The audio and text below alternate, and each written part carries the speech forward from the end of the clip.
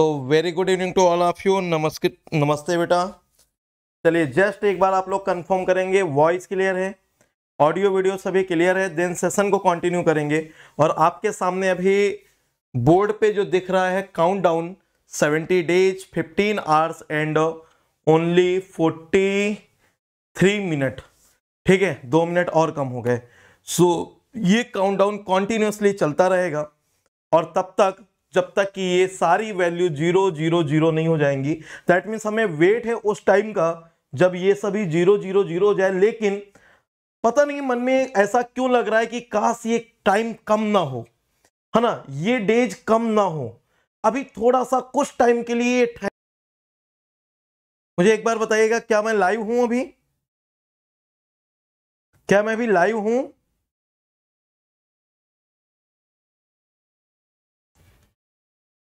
हाँ सही है सही है, ठीक है ठीक है, वो पता नहीं कुछ कुछ इशू हुआ था। जिस डिवाइस से हम लोग लाइव होते हैं, उस डिवाइस में कुछ क्रैश हो गया था जो एप्लीकेशन है तो मुझे लगा कि पता नहीं क्या हुआ। चलिए कंटिन्यू करते हैं। सो so गाइज़ मैं जस्ट ये बात कर रहा था कि 100 में से 90 परसेंट स्टूडेंट ऐसे होंगे, जिनके मन में कभी ना कभी ये थोड़ा सा ख्याल आता होगा कि क्या ऐसा हो सकता है, ये वन मंथ के लिए यहीं पर स्टॉप हो जाए। हमें वन मंथ का टाइम और मिल जाए तो हम कुछ गजब क्रिएट कर लेंगे। या यार, कुछ पंद्रह दिन का टाइम और होता तो शायद हम कुछ और बेटर कर पाते। और जो मैं ये फीलिंग बोल रहा हूँ ना, ये फीलिंग आपकी और स्ट्रांग होती जाएगी। आपको मन में आए और ऐसी बार, बहुत बार ये चीज़ें आएँगी जैसे जैसे ये टाइम और कम होता जाएगा। पता है क्यों? क्योंकि ये टाइम है जो अब हमें ज़्यादा मजबूर करेगा पढ़ने के लिए। आपको पता है मैं डेली इसको मतलब टाइम करेक्ट करता हूँ, इसको चेंज करता हूँ अपने सेशन के टाइम पे प्लस के टाइम पे आपको ये कुछ और टाइमिंग दिखाता होगा। यूट्यूब की क्लास स्टार्ट होती है, अलग टाइमिंग दिखाता है। डेली इसको मैं करेक्ट करके एक स्लाइड बना के लाता हूँ।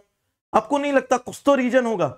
ये रीजन इसी बात का है कि आपको लगे कि अभी आपके पास सेवेंटी डेज़ हैं। क्योंकि जैसे जैसे ये टाइम कम होगा वैसे वैसे मन में हमारे ख्याल ये आएँगे काश कुछ दिन और बढ़ जाए। तो आप कब सोकर जागोगे?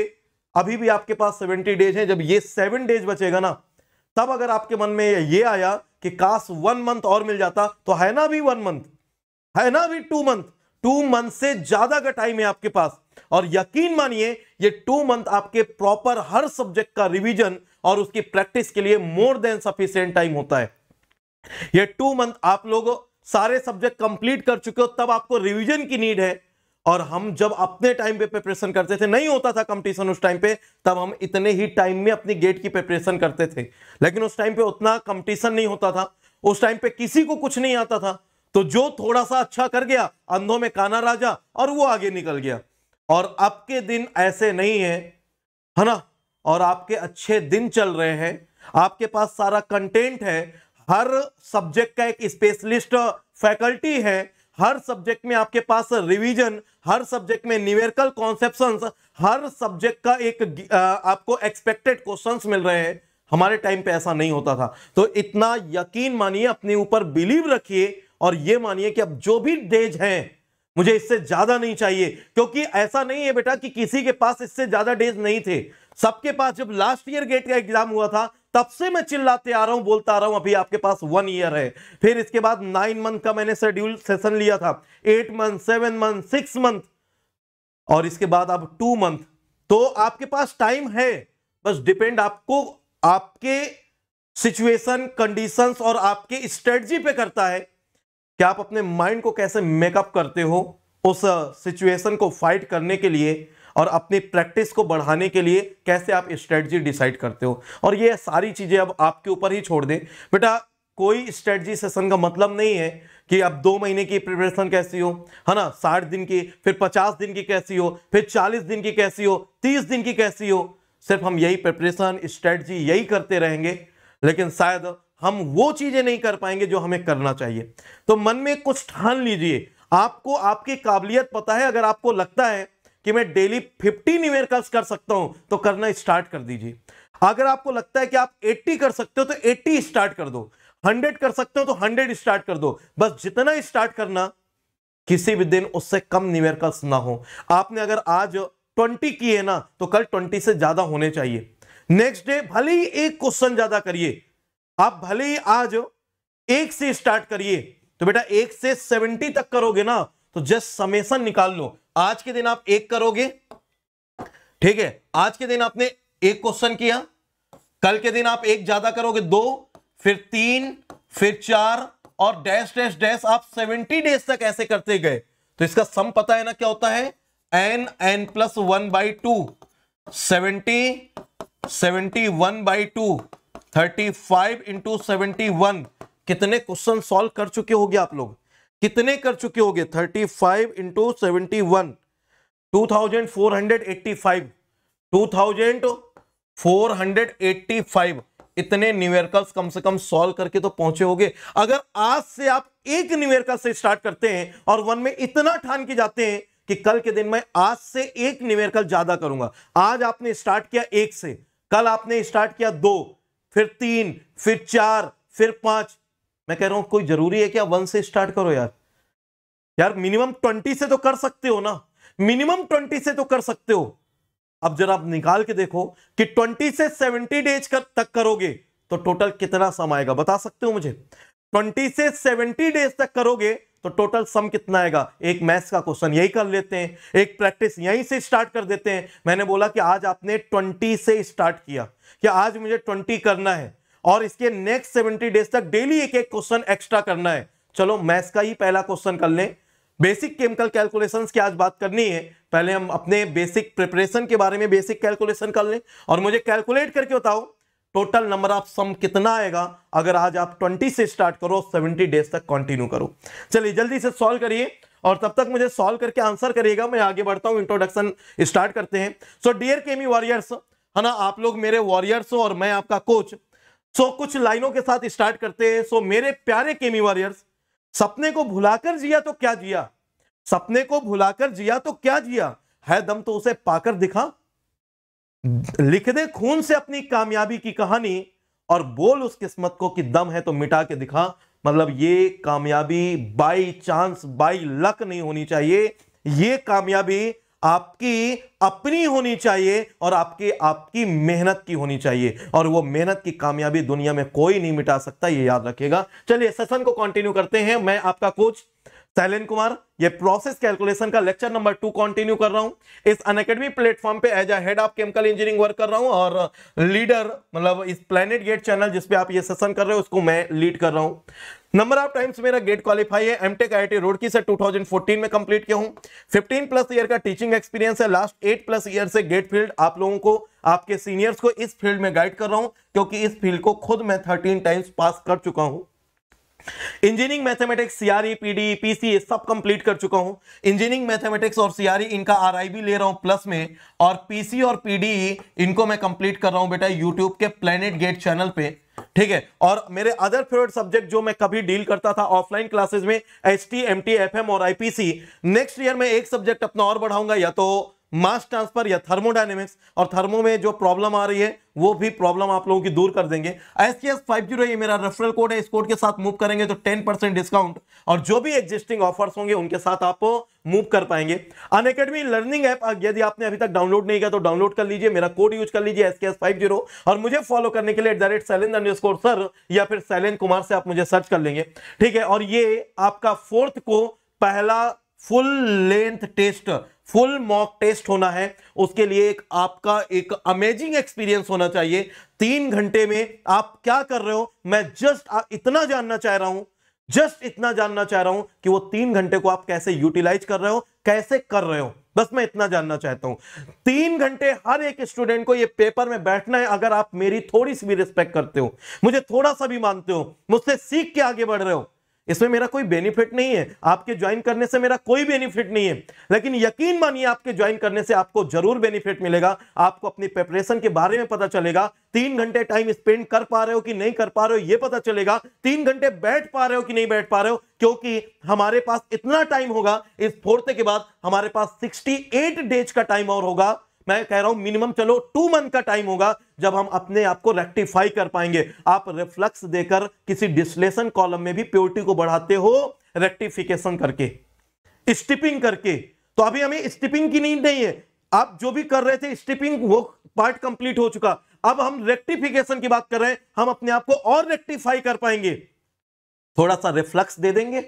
थोड़ा सा मोटिवेशन मिल जाएगा। बस मैं इसलिए कह रहा हूँ कि थोड़ा सा रिफ्लक्स दीजिए। फोर्थ दिसंबर को आप बैठिए और अभी आप टोटल रिफ्लक्स के साथ मूव कर रहे हैं कि बॉयलर का लोड ज़्यादा है आप या फिर कंडेंसर का लोड ज़्यादा है आप मिनिमम रिफ्लेक्स के साथ मूव कर रहे हैं तो उसको बेटा ऑप्टिमम वे में हम कन्वर्ट करेंगे और अपने प्रोसेस को ऑप्टिमम वे के साथ इकोनॉमिक कंडीशन में कन्वर्ट करेंगे। इसलिए मैं चाह, चाह रहा हूँ कि फोर्थ दिसंबर को आप ये टेस्ट में ज़रूर बैठिए ज़रूर दीजिए।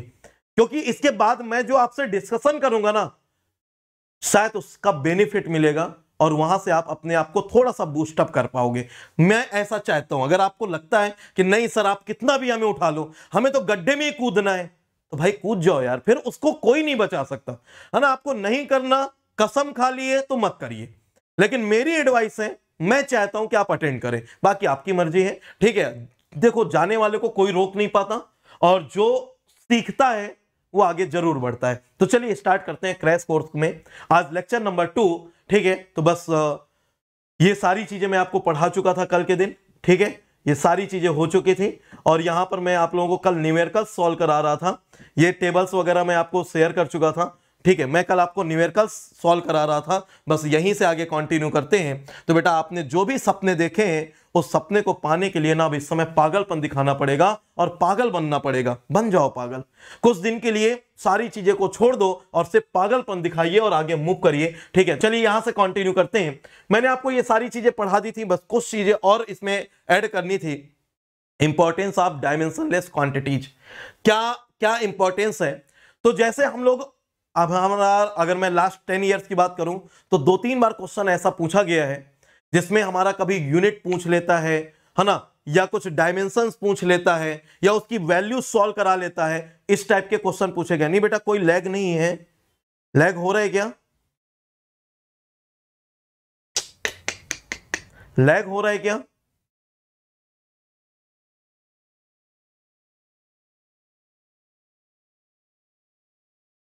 अभी क्लियर हुआ क्या?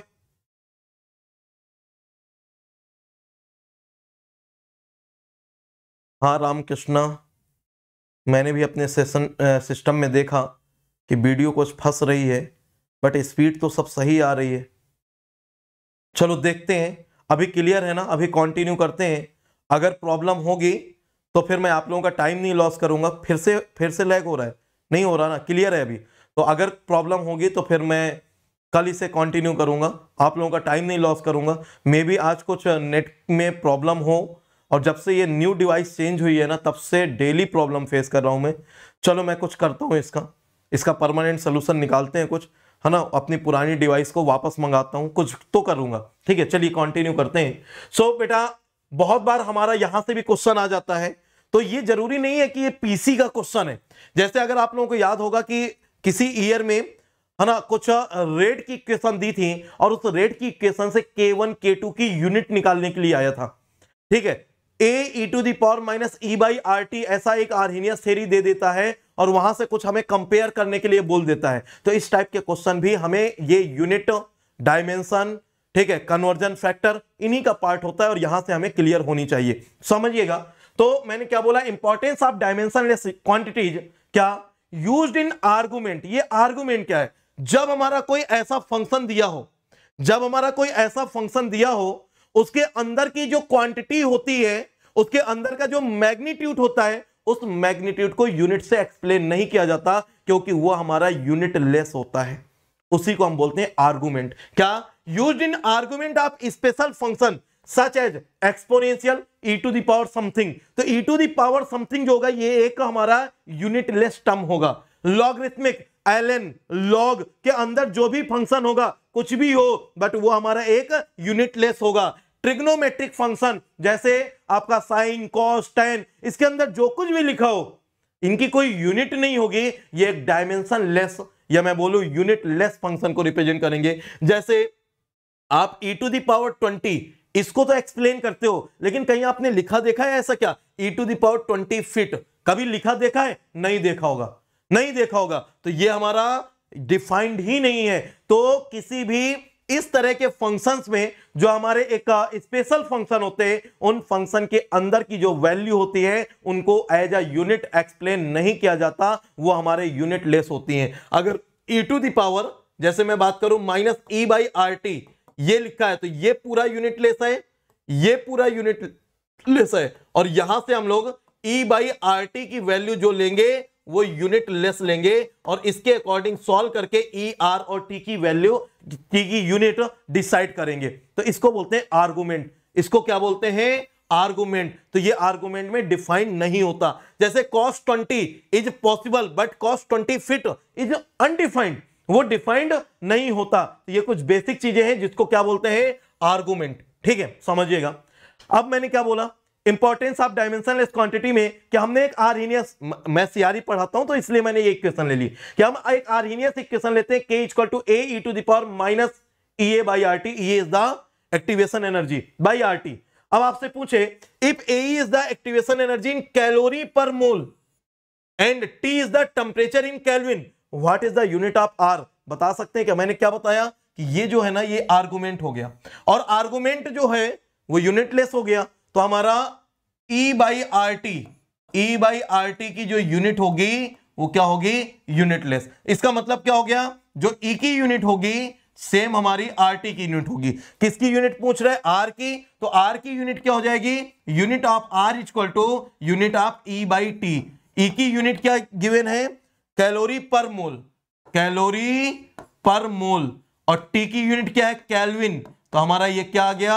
आर की यूनिट आ गया कैलोरी पर मोल पर कैलविन ये हमारा आर की यूनिट हो गया। इसका मतलब जब भी स्पेशल फ़ंक्शन आएगा, उसका जो आर्गुमेंट होगा, वो हमारा यूनिट लेस को रिप्रेजेंट करता है। एकदम क्लियर और ये तो आपको ऑलरेडी याद थी कि अगर कैलोरी पर मोल में है तो इसकी यूनिट जो आएगी, वो कैलोरी पर मोल पर कैलविन आएगी। ये आपको इतनी बार सीआरई में मैंने यूज़ कराया है कि आपको रटा रटाया है, कुछ पढ़ने की नीड ही नहीं थी यहाँ पर। लेकिन फिर भी मैंने आपको एक्सप्लेन किया। फॉर एग्ज़ाम्पल जैसे कभी कोई एक इक्वेशन दी हो, और इक्वेशन कुछ ऐसी है A plus B equal to C minus D equation कुछ ऐसी है कि A plus B equal to C minus D तो एक टर्म तो मैं आपको हमेशा बोलता रहा हूँ वी कैन एड और subtract the same dimensional quantity equate के टर्म में भी सेम ही होती है। तो समझिएगा, मैंने क्या बोला? ईच टर्म ठीक है each term in the equation must have the same net dimension sir, ये नेट डायमेंशन का मतलब क्या है, बताता हूँ अभी। ठीक है have the same net dimensions and unit as every other term to which it is added, subtracted or equated. चाहे ऐड किया गया हो, चाहे सब्सट्रैक्ट किया गया हो या इक्वल हो, उन सभी टर्म्स की यूनिट हमारी सेम होगी. For example A plus B equal to C minus D मैंने बोला कि बेटा, एक ही एक यूनिट है एल क्यूब एक ही यूनिट है एल क्यूब एल क्यूब मतलब समझ गया ना? लीटर या एल कुछ भी लेंथ क्यूब मान लो, है ना? लेंथ क्यूब वॉल्यूम मान लिया। Then B C D E की यूनिट क्या होगी? Then B C D E की यूनिट क्या होगी? निकाल दो सब। तो आप निकालोगे या मैं निकालूं? चलो अच्छा एक मिनट का टाइम दिया, जल्दी से आप देखो। जल्दी से आप देखो, करो सॉल्व करो और बताओ। देखा? आज ही के दिन एकदम से कम। आज ही के दिन कम हो गए। कल 45 से 50 के बीच में पीक था। और आज कम हो गए ना? सेशन को लाइक कर दीजिएगा, जिसने भी बेटा लाइक नहीं किया, और जल्दी से मुझे बताइए बी सी डी ई इन सभी की यूनिट क्या होगी? बी सी डी ई अभी जल्दबाजी मत करिएगा, है ना? आज पूरा पार्ट ये वाला मोल कॉन्सेप्ट का और ये कंसंट्रेशन वाला, ये सब पढ़ाऊँगा, ठीक है? और पूरा पीपीटी बना के लाया हूँ। मैं चाहता था कि ये पीपीटी आपको शेयर करूँ मैं चाहता हूँ कि ये पीपीटी शेयर करूँ। अगर आपको अच्छा लगे तो प्रेजेंस दीजिए। और अगर आप में से कोई भी लीप कर रहा है ना लाइव नहीं आ रहा, इसका मतलब आप अपना ही नहीं, अपने साथ में बाकी लोगों का भी लॉस कर रहे हो। अगर मैंने बोला था, कितना फोर्टी का बोला था ना, मैं सेशन वापस रिपीट करके कल का देख लूँगा, कि अगर फोर्टी पीक डेली पहुँचता रहा तो मैं आपको ये पीपीटी ज़रूर शेयर करूँगा, जिसमें पूरा शॉर्ट नोट्स होगा आपका पीसी का, पूरा शॉर्ट नोट्स होगा पीसी का। आपको ना बनाने की नीड पड़ेगी, ना टेंशन। फोर्टी बोला था ना? ठीक है, आज देखो अभी फोर्टी नहीं पहुँचा ना? ठीक। चलो तो सॉल्व करते हैं। सॉल्व करते हैं। बस एक ही दिन जोश आया करता है क्या? है ना, सर से चीज़ें स्टार्ट करवा लो, इसके बाद फिर गायब हो जाएँगे। है ना, सर की गरज होगी तो पढ़ाएँगे। बेटा, इतनी गरज नहीं है, मैं किसी भी दिन उठा के बंद कर दूँगा, ये बता दूँ। किसी भी दिन, जिस दिन मूड खराब हुआ कि भाई आज इतने कम है, उठा के मैं बंद कर दूँगा। कोई ऐसा कंपल्सन नहीं है, ये प्लस का कोर्स नहीं है कि मेरा फाइन लग जाएगा। ठीक है? मैं उठा के बंद कर दूँगा और इस चैनल का मालिक मैं हूँ। इस चैनल को मैं लीड कर रहा हूँ। जो चाहूँ, वो कर सकता हूँ। ठीक है? हेल्प करना मैं, मुझे अच्छा लगता है, लेकिन लेकिन अपनी बलि देना नहीं। समझ रहे हो? कि सर आप लगे रहो, लेकिन हम नहीं पढ़ेंगे, हम नहीं सपोर्ट करेंगे तो कुछ नहीं होगा। देखो, जो ए की यूनिट होगी, वही बी की यूनिट होगी। We can add or subtract the same dimensional quantity तो ए और बी की यूनिट सेम होगी। तो बी की यूनिट भी एल क्यूब अब जो ए और बी की यूनिट होगी, वही यूनिट हमारी इसकी होगी। तो ए प्लस बी की जो यूनिट होगी, वही यूनिट हमारी सी माइनस डी की होगी। अब ए की एल क्यूब बी की एल क्यूब तो सी की भी एल क्यूब होगी और डी ई की भी एल क्यूब होगी। तो सी की भी क्या होगी? एल क्यूब होगी। और जो यूनिट सी की होगी, वही यूनिट डी और ई की होगी। तो मुझे बता सकते हो डी और ई टी डी और ई की यूनिट क्या होगी?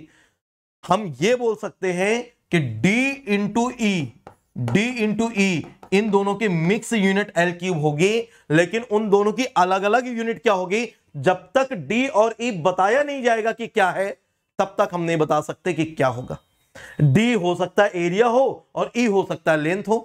हो सकता है ई e एरिया हो, डी लेंथ हो।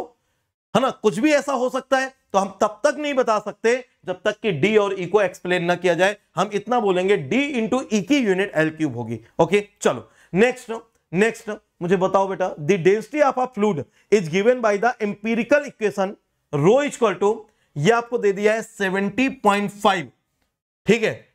Exponential of the 8.27 point two seven into ten to the power minus seven P समझ रहे हो ये? सर, ये पी क्या है? पास्कल नहीं बेटा। पी एक एक टर्म है, कुछ लिया गया होगा। ठीक है? हमसे क्या पूछ रहा है? वेयर रो इक्वल टू क्या है? डेंसिटी और रो की डेंसिटी क्या है? LBM per feet cube and P equal to pressure ये पी क्या है? प्रेशर है। और ये प्रेशर की यूनिट क्या है? L B F per inch square क्या बोल रहा है? What are the unit of 70.5 इसकी यूनिट क्या होगी?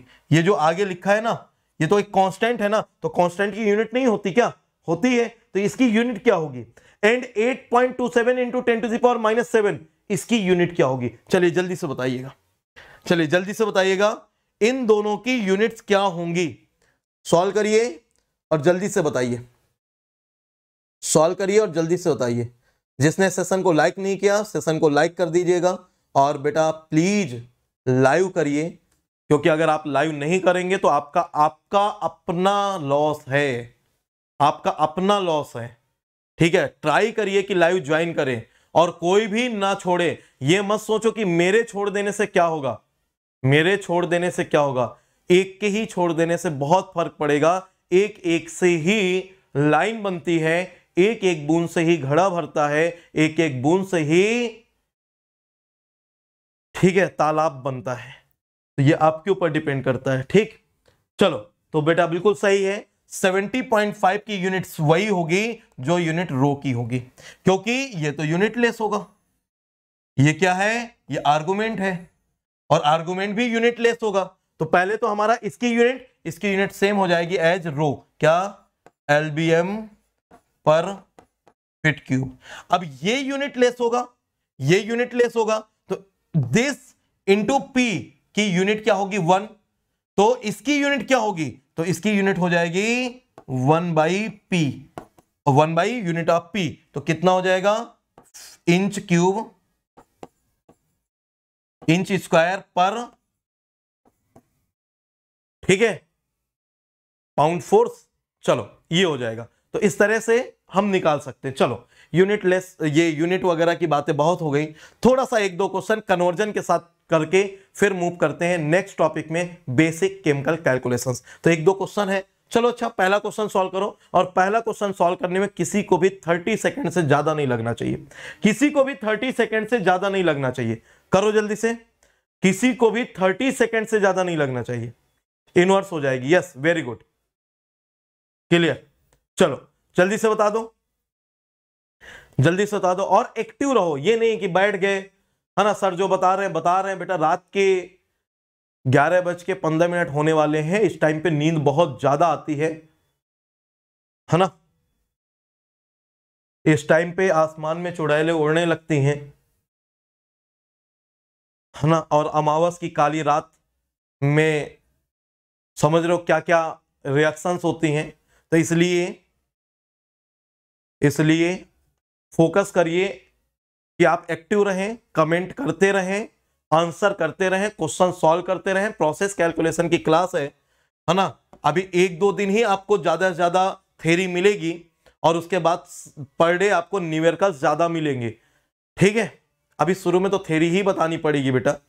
तो express I speed of 50 kilometre, speed V 50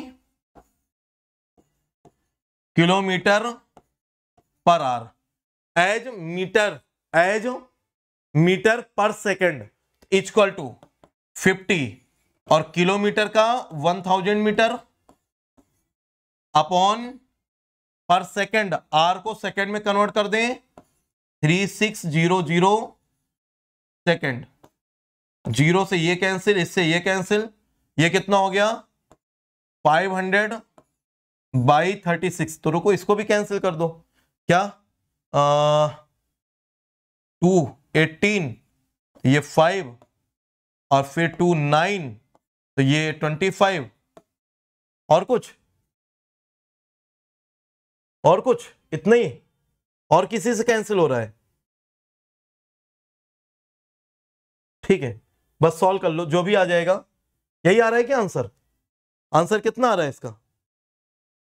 अरे, ऊपर वाले का बताओ भाई thirteen point eight eight nine one twenty five divide by nine one twenty five divide by nine सही है thirteen point eight eight eight nine ठीक है। One twenty five by nine कितना आ रहा है? Thirteen point eight eight eight nine और क्या होगा यूनिट मीटर पर सेकेंड, ठीक है? अच्छा ये वाला करते हैं। Convert a concentration of 220 twenty M per DL. ये डीएल क्या होता है? Driving licence concentration. C equal to two twenty M G per DL. ठीक है? एमजी और इसको किसमें कन्वर्ट करना है? ग्राम में। तो कितना हो जाएगा? Two twenty into ten to the power minus three ठीक है? अपॉन डीएल को किसमें कन्वर्ट करना है? लीटर में। तो one by ten one by ten मतलब ten to the power minus one तो ये ऊपर बन गया होगा ग्राम और नीचे बन गया होगा लीटर ओके तो ten to the power minus three और ये माइनस वन तो ये कितना हो जाएगा? माइनस टू और यहाँ पर आ जाएगा two point two two point two gram per litre सभी का ये आ रहा है? 2.2 ग्राम पर लीटर। डीएल क्या है? कोई बताओ भाई, डीएल क्या है? कल के दिन आपको बताया था ना? कल आपको बताया था ना? डेसी डेका सेंटी हेक्टो, ठीक है, मिली किलो, वहाँ पर जो डेसी था ना, वही है, ठीक है? तो ये बेटा डेसी लीटर है, डीएल, ठीक है? चलो। ठीक है ठीक है, सभी को पता है। चलो, ठीक है नेक्स्ट ये वाला जल्दी से कर दो। ये वाला जल्दी से कर दो। आ गया। हाँ देखो, हर्ष कुमार को एकदम याद रहता है। अभी बेटा फंसे नहीं हो ना चक्कर में। रुक जाओ रुक जाओ। चलो। ये वाला क्वेश्चन देखो। ये वाला क्वेश्चन देखो और जल्दी से सॉल्व करो। जल्दी से सॉल्व करो। आपको याद होगा फ्लूड मैकेनिक्स में आपने कुछ पढ़ा होगा, कुछ फार्मूले। Absolute, gauge, vacuum. है ना, कुछ पढ़ा है क्या? तो जल्दी से बता दो। क्या पूछ रहा है? क्या पूछ रहा है? Absolute pressure. Absolute pressure equal to क्या होता है? एब्सल्यूट प्रेशर इक्वल टू क्या होता है? क्या होता है? एटमॉस्फेरिक प्रेशर माइनस वैक्यूम अरे, ये तो याद होगा ना। चलो absolute pressure absolute pressure equal to ठीक है, कितना? ये कितना गिवन है? 475 तो ये 760 torr atmospheric pressure minus 475 475 torr ये आपका जो गिवन प्रेशर है, ठीक है? अब इसके बाद यहाँ से सॉल्व करिए तो 760 सिक्सटी माइनस फोर कर दो इसे। 760 सिक्सटी माइनस फोर कितना गया? 285 टॉर। और इसको आपको कन्वर्ट करना है किसमें? किलो पास्कल में। तो किलो पास्कल कितना? 101.325 किलो पास्कल पर एटीएम और पर एटीएम में 760 टॉर 760 टॉर टॉर से टॉर कैंसिल हो गया। इसको सॉल्व कर लो, जो वैल्यू आ जाएगी वो answer into one zero one point three two five divide by seven sixty कितना आ रहा है? Thirty seven point nine nine six eight seven five. Kilo pascal. तो आंसर कितना हो गया? Thirty eight kilo pascal. ठीक है? चलो। कुणाल, क्या हुआ बेटा? किस बात के लिए आपने बोला? अरे वाह! फोर्टी हो गया क्या? आज का पीक फोर्टी हुआ क्या? मैं देख तो नहीं पाया। अगर हो जाए तो मुझे बता देना। ठीक है? चलो, ये हो गया चलो, अब नेक्स्ट मूव करते हैं। तो ये कुछ, अब आप ये मत सोचिएगा बेटा कि मैं इसी सेशन में आपको पर डे 20 से 25 क्वेश्चन सॉल्व करा रहा हूँ। अच्छा ईमानदारी से बताना, मैंने कल आपको बोला था यूनिट कन्वर्जन पर कम से कम 20 क्वेश्चंस आप लोग सॉल्व करिएगा। कितने स्टूडेंट ने किया है? ईमानदारी से बताइएगा। चलो 40 पीक पहुँच गया।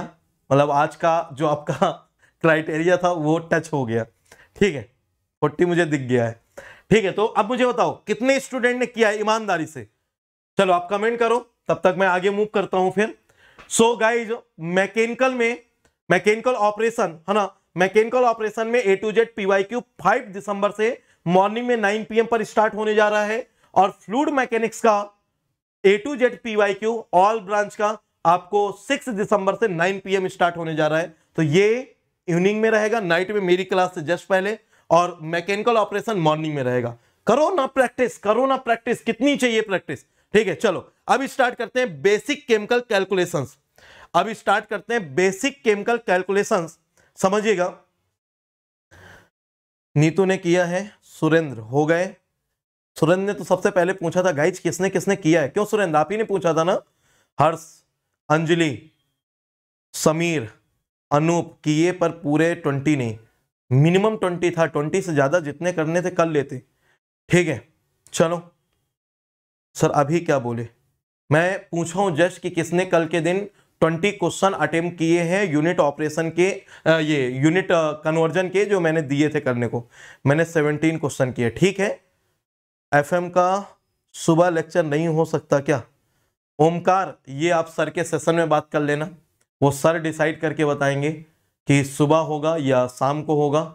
ठीक है, अब सर ने ही डिसाइड किया है कि मॉर्निंग में एमओ लेंगे, शाम को एफएम लेंगे तो मैं उसमें कैसे चेंज कर सकता हूँ? वो सर से आप डिस्कस कर लो, ठीक है? चलो तो आगे कंटिन्यू करते हैं। आज बेसिक केमिकल कैलकुलेशन की तरफ़ बढ़ते हैं। तो ये कुछ बेसिक कॉन्सेप्ट हैं जो बेटा आपको पता होना चाहिए, क्योंकि जब हम लोग मोल बैलेंस करते हैं, जब हम लोग मोल्स की कैलकुलेशन करते हैं हम एटॉमिक वेट की कैलकुलेशन करते हैं तो ये सारे फार्मूले ये सारे कॉन्सेप्ट की नीड पड़ती है और इनके बिना केमिकल इंडस्ट्री में कहीं पर भी आप कैलकुलेशन करोगे तो फंस जाओगे। बेसिक केमिकल कैलकुलेशंस में हमारा यही आता है, एक तो कंसंट्रेशन का, एक मोल्स का, उनकी कैलकुलेशन का आइडियल गैस कॉन्सेप्ट का, है ना तो ये बेसिक टर्म्स आते हैं तो चलो स्टार्ट करता हूँ। और यहाँ से क्रैश कोर्स तो आप कर रहे हो, लेकिन आपको मेरा सपोर्ट करना पड़ेगा। मतलब इनडायरेक्टली मैं बोलूँ कि मेरा नहीं, अपना ही सपोर्ट करना पड़ेगा। हर एक चीज़ मैं नहीं पढ़ा सकता तो मैं आपको बताता जाऊँगा कि ये आप खुद से करते जाइए। जैसे कल मैंने बोला कि आप जो कन्वर्जन फैक्टर हैं, उनको याद कर लीजिएगा। मुझे नहीं पता आपने याद किया कि नहीं। और आज मैं अब आपको कुछ बोलता हूँ कि जितने भी इंपॉर्टेंट एलिमेंट्स हैं, उनका एटॉमिक वेट आपको याद होना चाहिए। उनका एटॉमिक वेट आपको याद होना चाहिए। जितने भी मेन मेन कंपाउंड हैं, उनका मॉलिकुलर वेट आपको याद होना चाहिए। जैसे H2SO4 ठीक है? S C L N A C L K two C R two HCl NaCl K2Cr2O7 NaOH है ना? जो मेन मेन कंपाउंड है, उनका एटॉमिक वेट आपको याद होना चाहिए। बेंजीन टालुइन वाटर इन सबका एटॉमिक इन सबका मॉलिकुलर वेट और जितने भी मेन मेन एलिमेंट हैं उन सभी का एटॉमिक वेट आपको याद होना चाहिए। तो चलो पढ़ते हैं ये क्या होता है एटॉमिक वेट और मॉलिकुलर वेट ठीक है? और मैं आपके लिए बेटा प्रॉपर मेहनत कर रहा हूँ। बैठ के डेली तीन घंटे के आसपास लगते हैं स्लाइड बनाने में एक दिन के लेक्चर के लिए। है ना? ये एकदम से ऐसे नहीं मिल गया होगा। एक एक लाइन टाइप करनी पड़ती है। तो मैं आपके लिए मेहनत कर रहा हूँ। बस आप अपना प्रेजेंस दीजिए। आप प्रेजेंट रहिए। मैं आपको बाद में पूरा पीडीएफ शेयर कर दूँगा। अगर आप 40 प्लस डेली लाइव रहे। चलिए देखिएगा। मतलब पीक टच किए तो। एटॉमिक वेट क्या होता है ये एटॉमिक वेट तो एटम्स के टर्म में हम क्या बात करते हैं? कि जो सबसे छोटा पार्ट होता है ना, वो हमारा एटम होता है। वो हमारा एटम होता है। क्या? An atom is the smallest particle that takes part in a chemical reaction जो हमारा केमिकल रिएक्शन में पार्टिसिपेट करता है, वो स्मॉलेस्ट पार्ट जो होता है, वो हमारा केमिकल होता, वो हमारा एटम होता है। The absolute mass of an atom can not be determined easily it is necessary to indicate the mass of an atom in relation to mass of reference substance. और वो हम लोग किसको कंसीडर करते हैं? हम लोग बेटा कार्बन 12 के रिस्पेक्ट में किसी पर्टिकुलर एलिमेंट का एटॉमिक वेट कैलकुलेट करते हैं। और उसी के रिस्पेक्ट में आपको कुछ अवग्राडो नंबर के बेसिस पे कुछ एटॉमिक वेट और ये आपको मॉलिकुलर वेट ये आपको याद करके रखने हैं, ठीक है? तो यहाँ से हम अगर मॉलिकुलर वेट की बात करें तो कोई भी ऐसा मॉलिक्यूल कोई भी ऐसा कंपाउंड जो बहुत सारे एटम से मिलके बनता है, उसको हम बोल देते हैं कंपाउंड जैसे कुछ H, कुछ C, कुछ N, कुछ कुछ भी ऐसा, कुछ ये सब मिलके हमारा एक प्रोडक्ट बना दें। एक कंपाउंड बना दें तो हम उसको क्या बोलते हैं? मॉलिक्यूल और उस मॉलिक्यूल में कई सारे एलिमेंट का मिक्सअप होता है, वो हमारा क्या होता है? मॉलिक्यूल और उसका जो वेट आएगा, वो मॉलिकुलर वेट और वो क्या होता है? वो उन सारे इंडिविजुअल एलिमेंट्स के वेट के सम को रिप्रेजेंट करता है, वो हमारा मॉलिकुलर वेट होता है। तो एटॉमिक वेट सर, ये डिफिनेशन रटनी नहीं, कुछ नहीं करना। आपको क्या करना है? कुछ बेसिक टर्म जो है उनके आपको एटॉमिक वेट याद रखने हैं। फॉर एग्ज़ाम्पल फॉर एग्ज़ाम्पल मैं कुछ लिख देता हूँ जस्ट आप याद रखिए। जैसे एच का, ठीक है? एच ई का सी का, और एन का, और कुछ एन ए का एम जी का के का, ठीक है? सी ए का, और कुछ बचा? ये हैं तो बहुत सारे, है ना? जो आप टेबल पढ़ते हो ना पीरियोडिक टेबल तो कुछ इंपॉर्टेंट टर्म कम से कम वन से थर्टी तक याद हो, और थर्टी के बाद कुछ लगभग आठ, दस इंपॉर्टेंट टर्म रहते, वो सब याद हो। तो इतने आप याद करके रखिए। इतने याद करके रखिए वन से थर्टी तक की टेबल बना लीजिए।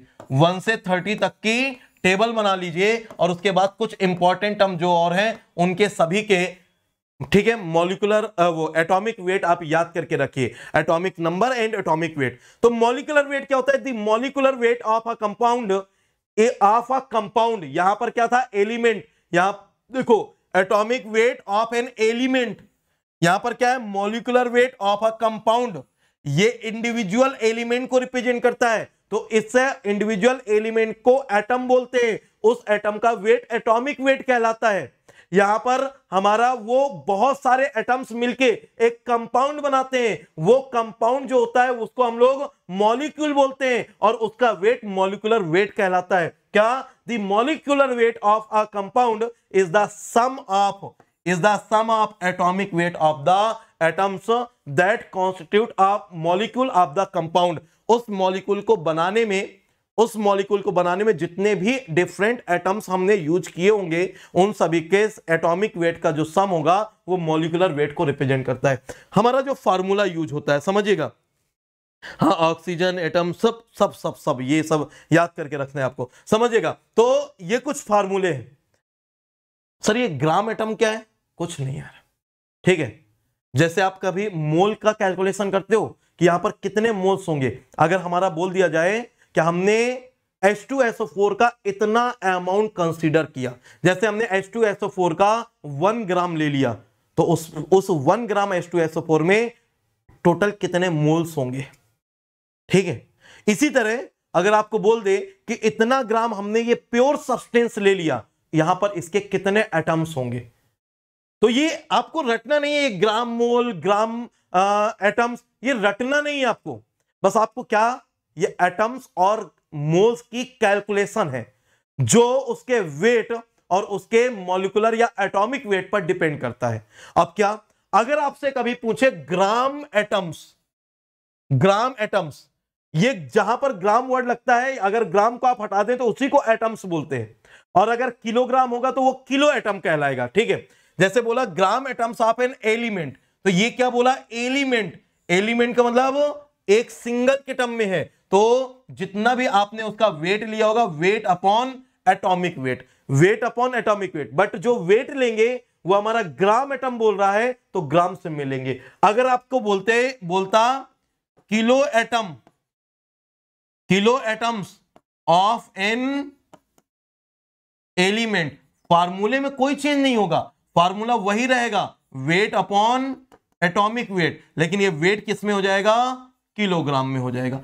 और कोई चेंज नहीं होना। सर, अगर इसकी बात करें तो बेटा यहाँ पर ग्राम मोल्स आप हो, बेटा एलिमेंट नहीं होगा ये। कंपाउंड होगा। Gram moles of an compound मुझसे मिस्टेक हो गई लिखने में। तो gram mole of of compound of a compound क्या होगा? Weight in gram upon molecular weight ठीक है? अगर आपसे पूछे, किलो मोल तो kilo moles of A compound equal to अभी भी सेम रहेगा वेट अपॉन मॉलिकुलर वेट लेकिन जो ये वेट होगा आप किसमें हो जाएगा? किलोग्राम में. अब आप सोचो ना, आप सोचो ना, जब हम किसी का एक अमाउंट लेंगे, अब उस अमाउंट में हम पूछ रहे हैं कि भैया उसके कितने मोल्स हैं? कितने मोल्स हैं? तो हम क्या कहें? कैसे निकालते हैं? कैसे निकालते हैं? जैसे जैसे मैं आपको एक मान लीजिए, ये ये ये पेन ही मान लो। ये पेन है और इस पेन का मैंने कुछ नंबर मान लो, पचास है, सौ है, दस है, बीस है, एक साथ उठा के आपको दे दिया और मैंने आपको बोला कि भाई, इसका टोटल वेट वन किलोग्राम है। इसका टोटल वेट वन किलोग्राम है और एक पेन का वेट एट्टी ग्राम है। तो बताइए टोटल कितने पेन है उसमें? तो आप क्या करोगे? वन किलोग्राम में आप डिवाइड करोगे ना इंडिविजुअल का, और आप बता दो कि इतने पेन है, बस वही कैलकुलेशन है।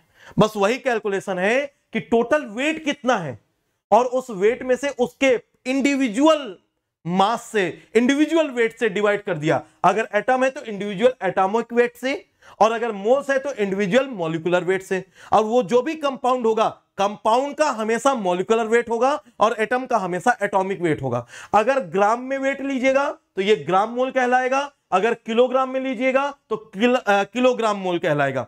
ठीक है? तो बस डिपेंड करता है कि आप किसमें ले रहे हैं। अगर एटॉमिक वेट से डिवाइड करिएगा तो ये एटम्स आएँगे मोलिकुलर वेट से डिवाइड करेगा तो मोल्स आएँगे। बात खत्म फिनिश और कुछ भी नहीं और एक्स्ट्रा कुछ नहीं याद रखना।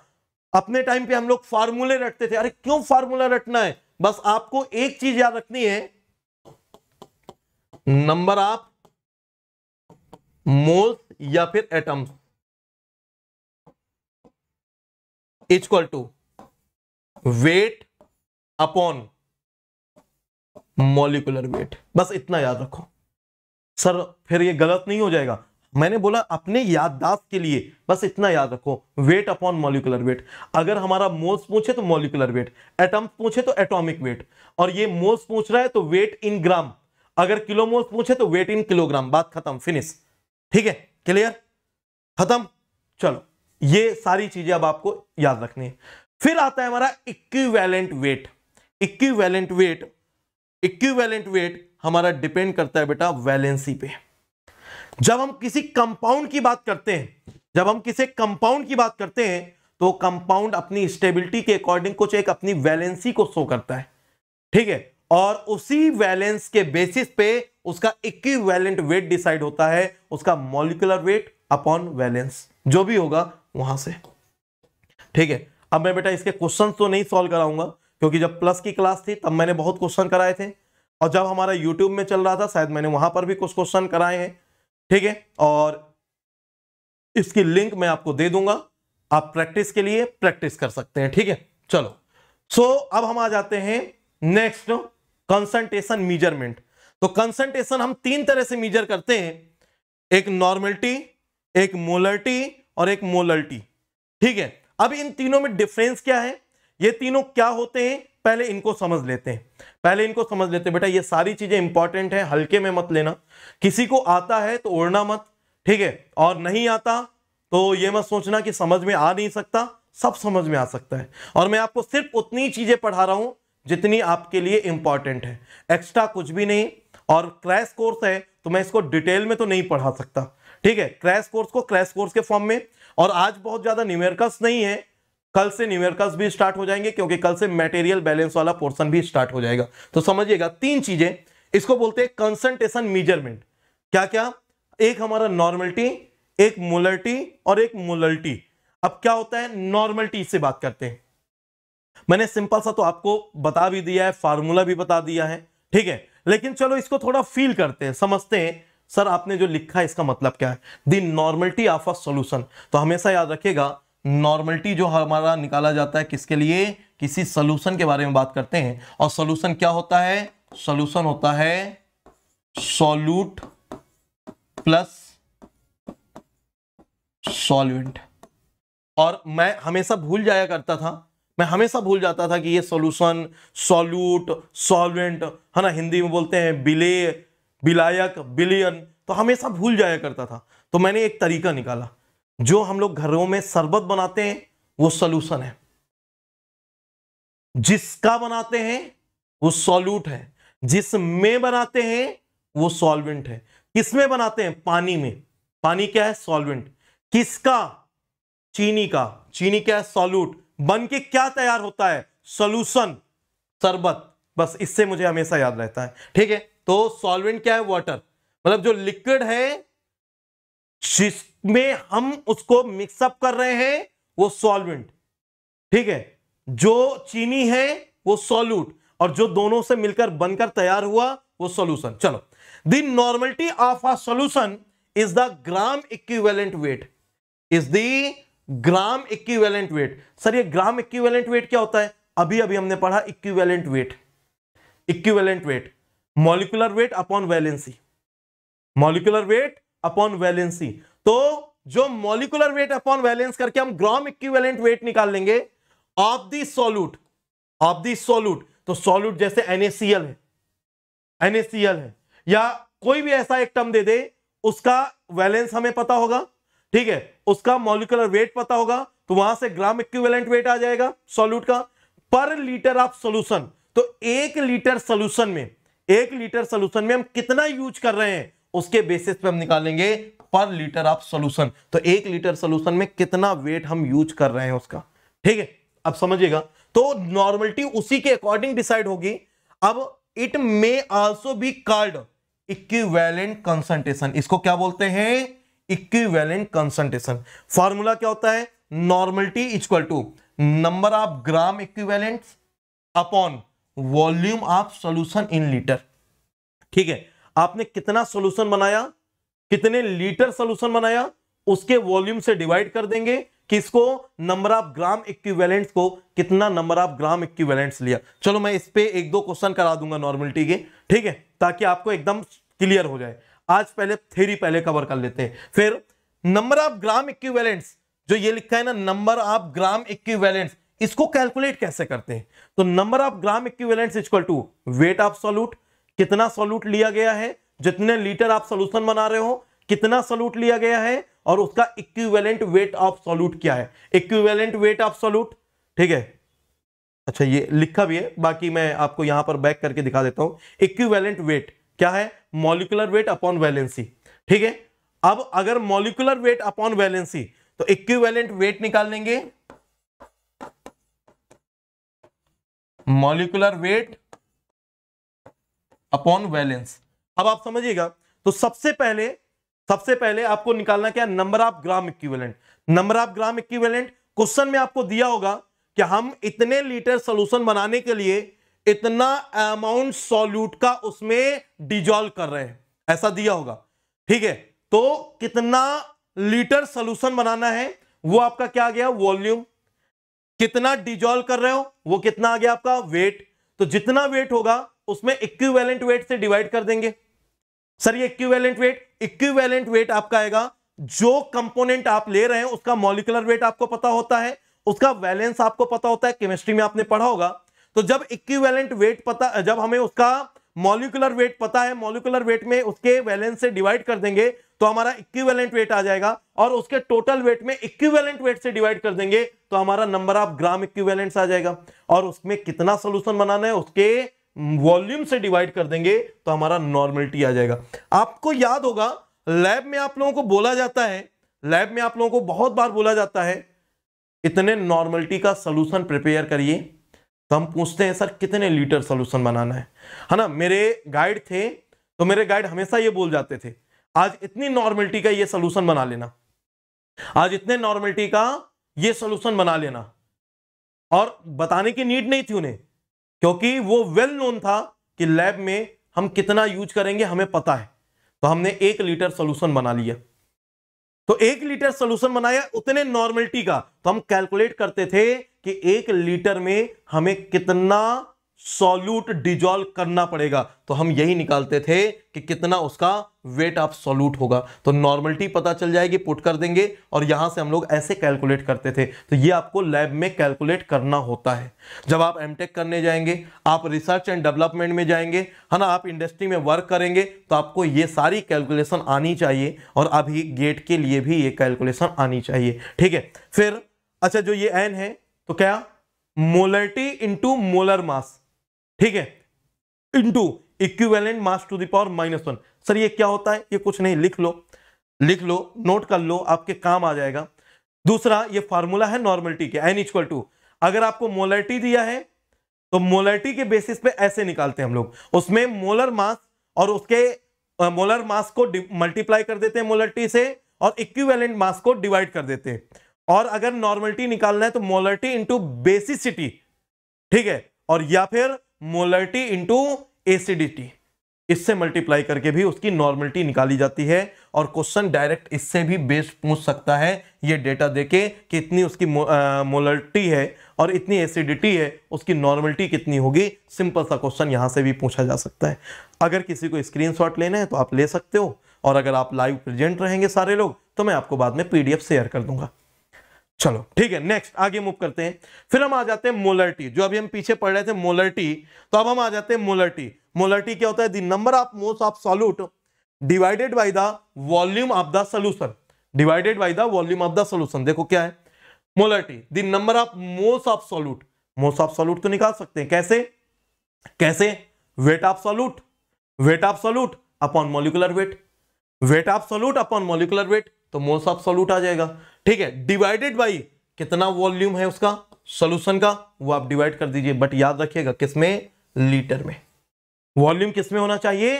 लीटर में। तो ये हमारा क्या कहलाता है? मोलरिटी क्या बोलते हैं? Molarity is defined as moles of solute per litre of solution एक लीटर सोल्यूशन में टोटल मोल्स कितने हैं? Not moles of solute per litre of solvent है ना? बहुत से बहुत से लोग गलती क्या करते हैं?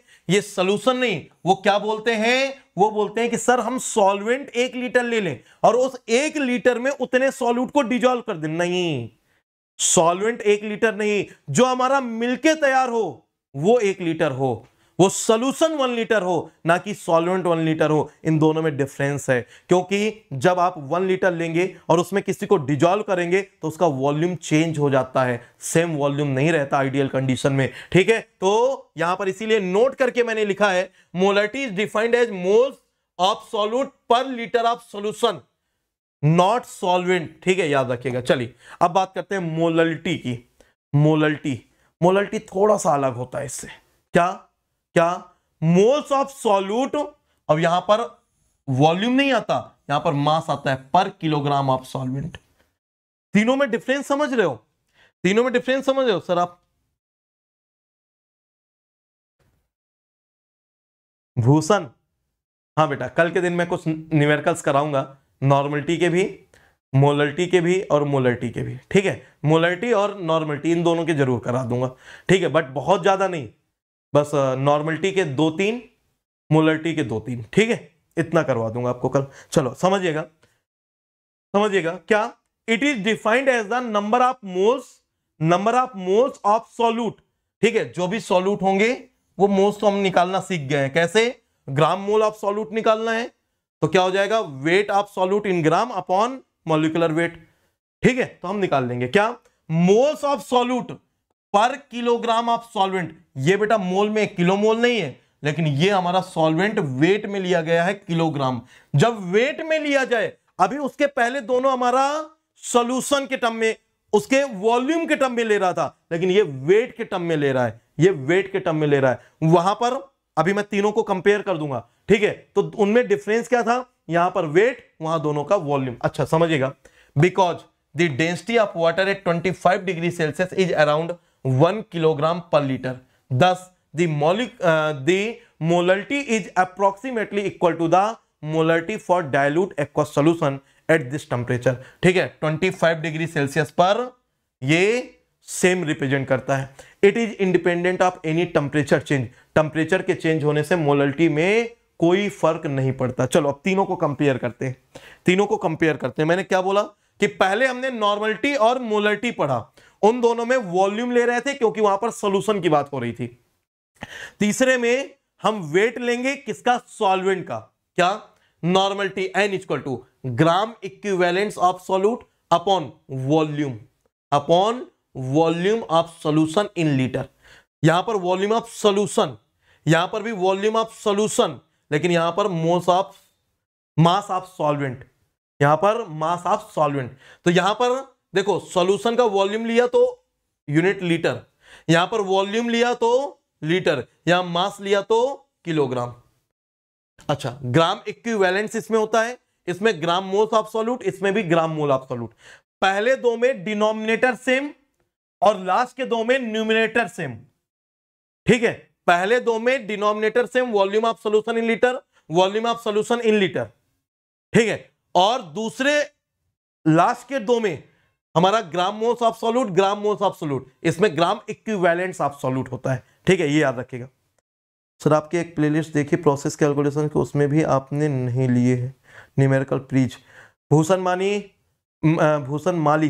बेटा, मैंने क्वेश्चन लिए हैं, लेकिन स्पेशल क्लास में। जब भी मेरे कोई भी कंप्रेंसिव कोर्स चलते हैं तो उसी के पैरेलल में कुछ दिन बाद मैं स्पेशल क्लास स्टार्ट करता हूँ और जितने भी न्यूमेरिकल्स होते हैं, वो स्पेशल क्लास में सॉल्व करता हूँ। तो आप जाके देखिएगा स्पेशल क्लास में मैंने सॉल्व कराए हैं। ठीक है, चलो। तो ये वाला। A to Z PY Q CRE ये कंप्लीट पीवाई क्यू सीरीज़ है प्लेनेट गेट जिस पे आप अभी अवेलेबल हो, इसी पे, इसी यूट्यूब चैनल पे। तो अगर किसी को नीड है तो आप इसके प्लेलिस्ट में जाइए। आप जहाँ पर भी प्रेजेंट हैं आप पर्पल कलर का एक प्लेनेट बना हुआ देख रहे होंगे, उसके नीचे गेट लिखा होगा क्लिक कर देंगे होम पेज आ जाएगा। ऊपर से आप चेक करेंगे तो आपको प्लेलिस्ट दिख जाएगा। प्लेलिस्ट पे क्लिक करेंगे तो आप ऊपर से सर्च कर लेंगे तो आपको दिख जाएगा A to Z C R E P Y Q series ठीक है? उसमें आप क्लिक कर देंगे ट्वेंटी नाइन लेक्चर्स हैं और पूरे पी वाई क्यू मैंने कवर किए हैं। ठीक है? एक दो मिस हो गए हो तो नहीं बता सकता, बाकी लगभग लगभग सारे कवर किए हैं। आप वहाँ से कंटिन्यू कर सकते हैं। चलिए, आगे बात करते हैं। अब हम आ जाते हैं कुछ और, जैसे mole percent, weight percent, volume percent, ये तीन चार चीज़ें आपको कैलकुलेट करने के लिए बोलता है बहुत बार। ठीक है? कैसे कैलकुलेट करते हैं? वेट परसेंट वेट परसेंट, हमेशा याद रखिएगा, एक ये परसेंट के टर्म में और एक फ्रैक्शनल अमाउंट के टर्म में, दो चीज़ों में पूछा जाता है। अगर आपसे किसी इंडिविजुअल कंपोनेंट का वेट पूछे तो आप उसमें टोटल वेट से डिवाइड कर देंगे जो टोटल होगा। ठीक है? क्या? Weight percent weight percent of A equal to weight of A upon total weight of system into hundred percent है तो हंड्रेड परसेंट नहीं होता तो कुछ नहीं करते, वो हमारी वैल्यू फ्रैक्शनल वैल्यू को रिप्रेजेंट करती। ठीक है? और फ्रैक्शन फ्रैक्शनल वैल्यू में अगर 100 का मल्टीप्लाई कर देते हैं तो वो हमारा परसेंट वैल्यू को रिप्रेजेंट करता है। जैसे weight percent of A equal to W A upon W into hundred ठीक है? अच्छा where W A equal to weight of the component A ठीक है, अब कैसे? जैसे हमने एक बाइनरी मिक्सचर लिया और वहाँ पर ए और बी दोनों का एक मिक्सचर ले लिया तो उस मिक्सचर का टोटल वेट कितना है और उसमें ए का वेट कितना है? तो वो उसके ए के वेट फ्रैक्शन को बता देगा। या वेट परसेंट को बता देगा। तो जैसे टोटल वेट डब्ल्यू की बात करें तो बाइनरी मिक्सचर में W A plus W B tertiary mixture में W A W B W C या हमारा मिक्सचर ऐसा है जिसमें नंबर ऑफ़ कंपोनेंट है तो W A W B W C W D W E W F W G जितने component होंगे, उन सभी का टोटल वेट और उसमें ए का इंडिविजुअल वेट इंडिविजुअल वेट में टोटल वेट से डिवाइड कर देंगे तो वहाँ पर हमारा वेट फ्रैक्शन आ जाएगा। इसी तरह वॉल्यूम के टर्म में करते हैं। ठीक है? अगर हम इंडिविजुअल किसी भी वॉल्यूम को टोटल वॉल्यूम से डिवाइड कर दें तो वॉल्यूम परसेंट आ जाएगा। क्या? प्योर कंपोनेंट वॉल्यूम बेटा स्पेलिंग गलत लिखी है वॉल्यूम की। है ना? इग्नोर कर देना। Pure component volume of A मतलब जो ए होगा ए अमाउंट उसका वॉल्यूम कितना है? Upon total volume of the system ठीक है? तो हमारा V A upon V into hundred ये फॉर्मूला हो गया।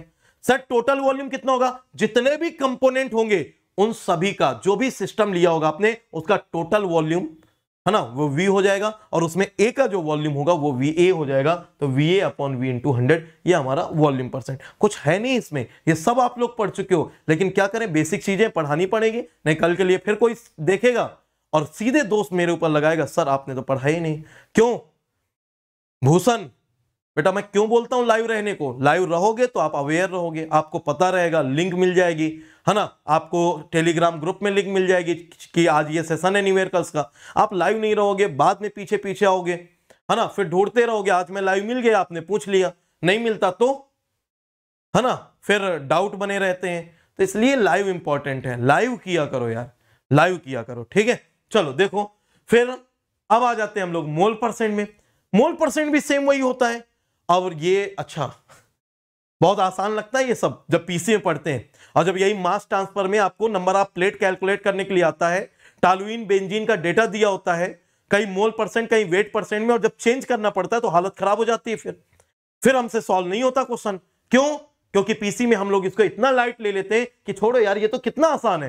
है ना? Weight upon weight of A upon total weight volume of A upon total volume इसी तरह moles of A upon total moles तो हमारा आ गया मोल परसेंट है ना? तो इतना आसान जब हम ले लेते हैं ना, इसीलिए बेटा आप लोगों को फिर मास ट्रांसफ़र के न्यूमेरिकल्स में प्रॉब्लम होती है और हम क्या बोलते हैं? मास ट्रांसफ़र यार बहुत टफ है।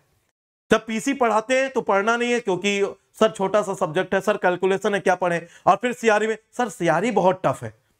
सर कन्वर्जन निकालना आ ही नहीं रहा हमें।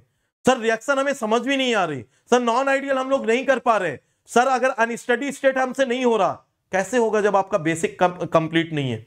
जब आपने बेसिक ही नहीं कर रखा तो कैसे होगा? नहीं होगा। और अगर हो भी जाएगा तो सिर्फ़ रट के होगा, कभी फील नहीं कर पाओगे। तो इसलिए पीसी करना इंपॉर्टेंट है। और अगर पीसी करना चाहते हो तो गेट एग्ज़ाम के आसपास 11 को है ना गेट का एग्ज़ाम मैं वही फरवरी के फ़र्स्ट वीक में प्रोसेस कैलकुलेशन से ही शायद इस बार फिर गेट का बैच स्टार्ट करूँगा। और जितने भी सेकेंड ईयर और थर्ड ईयर के स्टूडेंट हैं, पहला सब्जेक्ट बेटा प्रोसेस कैलकुलेशन पढ़िएगा। और मैं उसको इतना इस बार लास्ट ईयर जो पढ़ाया, उससे ज़्यादा डिटेल में पढ़ाऊँगा, उससे ज़्यादा आपको कॉन्सेप्ट क्लियर कराऊँगा, उससे ज़्यादा आपको नोट्स और असाइनमेंट भी दूँगा। बस आप लोग कंटिन्यू करेंगे तो। ठीक है? और पीसी के साथ आगे बढ़िए, बाकी सब्जेक्ट आपको फील आएँगे, समझ आएगा, मज़ा आएगा। चलिए, समझिएगा। तो मैंने क्या बोला? मोल परसेंट तो क्या? मोल परसेंट आप A equal to moles of A upon total moles of the system sir ये कैसे निकालेंगे? तो बेटा टोटल मोल्स आप कैलकुलेट कर सकते हो। कैसे? कैसे? अगर ए और बी दो का मिक्सचर दिया है, अगर ए और बी दो का मिक्सचर दिया है तो आप उसका एवरेज मॉलिकुलर वेट कंसीडर करते हैं। एवरेज मॉलिकुलर वेट सर ये कैसे निकालते हैं? ये भी सिखाऊँगा आपको। अभी वेट करते जाओ। आपको एवरेज मॉलिकुलर वेट भी सिखाऊँगा। आपको उसकी डेंसिटी मिक्सचर की डेंसिटी निकालना भी सिखाऊँगा। बस थोड़ा सा इंतज़ार करना पड़ेगा, ठीक है? तो moles percent of A moles of A upon total moles of the system ठीक है? जैसे आपको दे दिया ए के इतने मोल्स हैं टोटल मोल्स हमारे इतने हैं तो आप उसका मोल परसेंट निकाल लेंगे। 100 से मल्टीप्लाई करने से मोल परसेंट आएगा 100 से मल्टीप्लाई नहीं करोगे तो फ्रैक्शनल वैल्यू आएगी। अगर हमें वेट पता हो, अगर हमें वेट दे दे और मोल परसेंट निकालना हो तो बेटा weight of A upon molecular weight of A upon weight of A upon molecular weight of A plus weight of B upon molecular weight of B अगर बाइनरी मिक्सचर है, अगर एक और कंपोनेंट है तो W C upon M C अगर एक और कंपोनेंट है W D upon M D इस तरह से जितने भी कंपोनेंट होंगे, उन सभी का एवरेज ले लेंगे और वहाँ से हमारा टोटल मोस्ट ऑफ़ द सिस्टम निकाल लेंगे। ठीक है? और यहाँ से डिवाइड करके ये निकाल लेंगे। तो ये दोनों फॉर्मूले आपके लिए इंपॉर्टेंट है स्पेशली ये वाला। ठीक है? और मास ट्रांसफ़र में ये वाला बहुत यूज़ होता है। ठीक है? क्या where M and M B are the molecular weight ये तो सबको पता होता है। अच्छा लेकिन जब हम बात करें कि सर, अगर जैसे मैं ए का निकाल दूँ बी का भी निकाल दूँ सी का भी निकाल दूँ, तीन कंपोनेंट है मिक्सचर में ए बी सी और अगर मैं ए का मोल फ्रैक्शन निकाल दूँ बी का मोल फ्रैक्शन निकाल दूँ सी का मोल फ्रैक्शन निकाल दूँ, और उनका सम करूँ तो तो बेटा वन आएगा। ठीक है? परसेंट भी निकाले तो ए का जो मोल परसेंट आएगा प्लस बी का मोल परसेंट सी का मोल परसेंट वो हंड्रेड के इक्वल हो जाएगा। ठीक है? तो ये सारी चीज़ें आपको पता होनी चाहिए। देखो, हंड्रेड परसेंट हो गया। ठीक है, चलो। तो ये हमारा मोल परसेंट के टर्म में आ गया। नेक्स्ट अब बात करते हैं हम लोग आइडियल गैस ला। अब बात करते हैं आइडियल गैस ला। अभी हम ये हम लोग ये सिंपल चीज़ें पढ़ रहे हैं। फिर इसके बाद अभी कंटिन्यू करूँगा मैं मिक्सचर के लिए। तो वो सारी चीज़ें पढ़ाऊँगा। मिक्सचर का एवरेज मॉलिकुलर वेट कैसे निकालते हैं? है ना, जब हमें गिवन कंडीशंस होती हैं, तब कैसे कैलकुलेट करते हैं? कल मैं आपको एनटीपी एसटीपी इनकी भी बात करूँगा। ठीक है? तो अभी धीरे धीरे मूव करेंगे। आप ये सोचो, सर, पहली क्लास में आप कंबसन पढ़ा दो। है ना? पहली क्लास में आप ये पढ़ा दो। तो बेटा, वो पॉसिबल नहीं होगा। समझिएगा? आइडियल गैस बहुत सारे लोग इसीलिए छोड़ देते, सर इजी पढ़ा रहे हो, मैं जा रहा हूँ। है ना? तो पेशेंस रखिए। और इजी से ही सबसे ज़्यादा लोग गलती करके आते हैं, ये याद रखिएगा। ठीक है ideal gas law. Ideal gas law, मुझे बताने की नीड नहीं है। मुझे बताने की नीड नहीं है। अच्छा ये अब आप लोगों के लिए कुछ असाइनमेंट है और ये आपको आपको खुद करने पड़ेंगे। क्या? Charles law Boyle's law Dalton's law Raoult's law Amagat's law Henry law. समझ में आ गया? क्या क्या चार्ल्स ला बायल्स ला ठीक है? Ideal gas law Amagat's law Dalton's law Raoult's law Henry law modified modified Raoult's law. ठीक है? ये सारी चीज़ें अब आपको करने पड़ेंगे। चलो आप समझिएगा, बस मुझे अभी इतनी चीज़ों की नीड है। अभी हम आ जाते हैं आइडियल गैस ला में। जो भी हमारा चार्ल्स ला बायल्स ला, इनसे हमारा आइडियल गैस ला आता है, वो क्या आता है? PV equal to N R T PV equal to N R T यहाँ पर जो हम लोग वी लेते हैं वॉल्यूम ये वॉल्यूम हमारा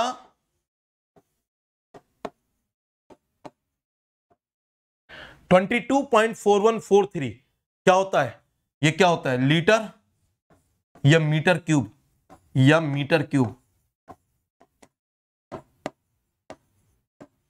ये बेटा दोनों होता है। दोनों होता है डिपेंड करता है गैस के क्वांटिटी पर। अगर हमारा वॉल्यूम लीटर में लिया गया होगा तो ये बेटा वन मोल गैस के लिए होता है। वन मोल गैस के लिए होता है। और अगर मीटर क्यूब में लिया गया होगा तो वन किलो मोल गैस के लिए होता है। ये स्टैंडर्ड कंडीशन है, जो आपको याद रखना है, ठीक है? और अगर हमारा ये वन मोल गैस है तो लीटर में वन किलो मोल गैस है तो मीटर क्यूब में। दोनों ही वैल्यू सही है। टी जो होता है, यह हमेशा बेटा एब्सोल्यूट टेम्परेचर होता है। एब्सोल्यूट टेम्परेचर को रिप्रेजेंट करता है, जिसको हम लोग कैलविन में लेते हैं। ठीक है? पी की वैल्यू ये डिसाइड करेगी कि आर की वैल्यू हमारे, हमें क्या लेना है। पी की वैल्यू डिसाइड करेगी कि आर की वैल्यू क्या लेना है, और पी की वैल्यू पर आर की वैल्यू चेंज होती रहती है। वी की वैल्यू एन पर डिपेंड करती है। टी हमेशा कैलविन में लिया जाता है और आर की यूनिट पी की यूनिट पर डिपेंड करेगा, ठीक है? और पी की यूनिट पर और वी की यूनिट अगर हमारा पी की यूनिट आप कुछ पास्कल, किलो पास्कल इनके टर्म में ले रहे हैं तो यह हमेशा मीटर क्यूब में लिया जाता है। अगर आप पी की value ATM torr M M H G इसमें ले रहे हो, समझिएगा? अगर आप ये लीटर वाला लेते हैं तो पी को पी को mostly ATM torr M M H G M M H G ठीक है? और बार इन सब में जब लेते हैं तो हम लोग वॉल्यूम क्या लीटर में और गैस का अमाउंट वन मोल लेते हैं। जब हमारा किलो मोल गैस ली जाती है मीटर क्यूब में तो हम लोग प्रेशर को वहाँ पर pascal, kilo pascal mega pascal, इनके टर्म में लेते हैं। ठीक है? इनके टर्म में लेते हैं। चलो, अब समझिएगा, उसी के बेसिस पे कुछ आर की वैल्यूज़ हैं, जिनको एक्सप्लेन किया गया है। Value of R equal to value of R equal to आप समझिएगा, बेटा, ये मीटर क्यूब वॉल्यूम हो गया तो प्रेशर किसमें लिया गया किलो पास्कल में। और अगर किलो पास्कल में लिया है तो गैस का अमाउंट किलो मोल में लिया गया है, ये कैलविन में हो गया। समझ में आया? और और इसको जब हम सॉल्व करते हैं तो क्या आता है? जूल पर मोल पर कैलविन। ये आता है। ठीक है? या फिर, ये आता है हमारा kilo joule per kilo mole per kelvin. ये आता है हमारा। ठीक है? याद रहेगा आपको? इसी तरह जो आपकी ये वाली वैल्यू है kilocalorie per kilomole per kelvin ठीक है, इसी को हम लोग कैलोरी पर मोल पर कैलविन ये बोलते हैं। ठीक है, बाकी बाकी मैंने आप लोगों को कुछ चीज़ें और बताई थी। मैंने आपको कुछ चीज़ें और बताई थी। ठीक है, ये एक स्टैंडर्ड टेबल है जो आइडियल गैस के साथ में दी रहती है। मैंने आप लोगों को कुछ चीज़ें बताई थी कि आर की वैल्यू आप ऐसे याद रखिए। तो फाइनली 8.314 जूल पर मोल पर कैलविन, या फिर इसी को बोलते हैं kilojoule per kilomole per kelvin, ठीक है? 1.987 कैलोरी पर मोल पर कैलविन, या फिर kilocalorie per kilomole per kelvin, ठीक है? 0.082 एटीएम लीटर पर मोल पर कैलविन ये तीन वैल्यू सबसे ज़्यादा यूज़ होती है। एक बार वाली भी बहुत यूज़ होती है। क्या? यहीं पर लिख दूँ क्या? यहाँ लिख देता हूँ।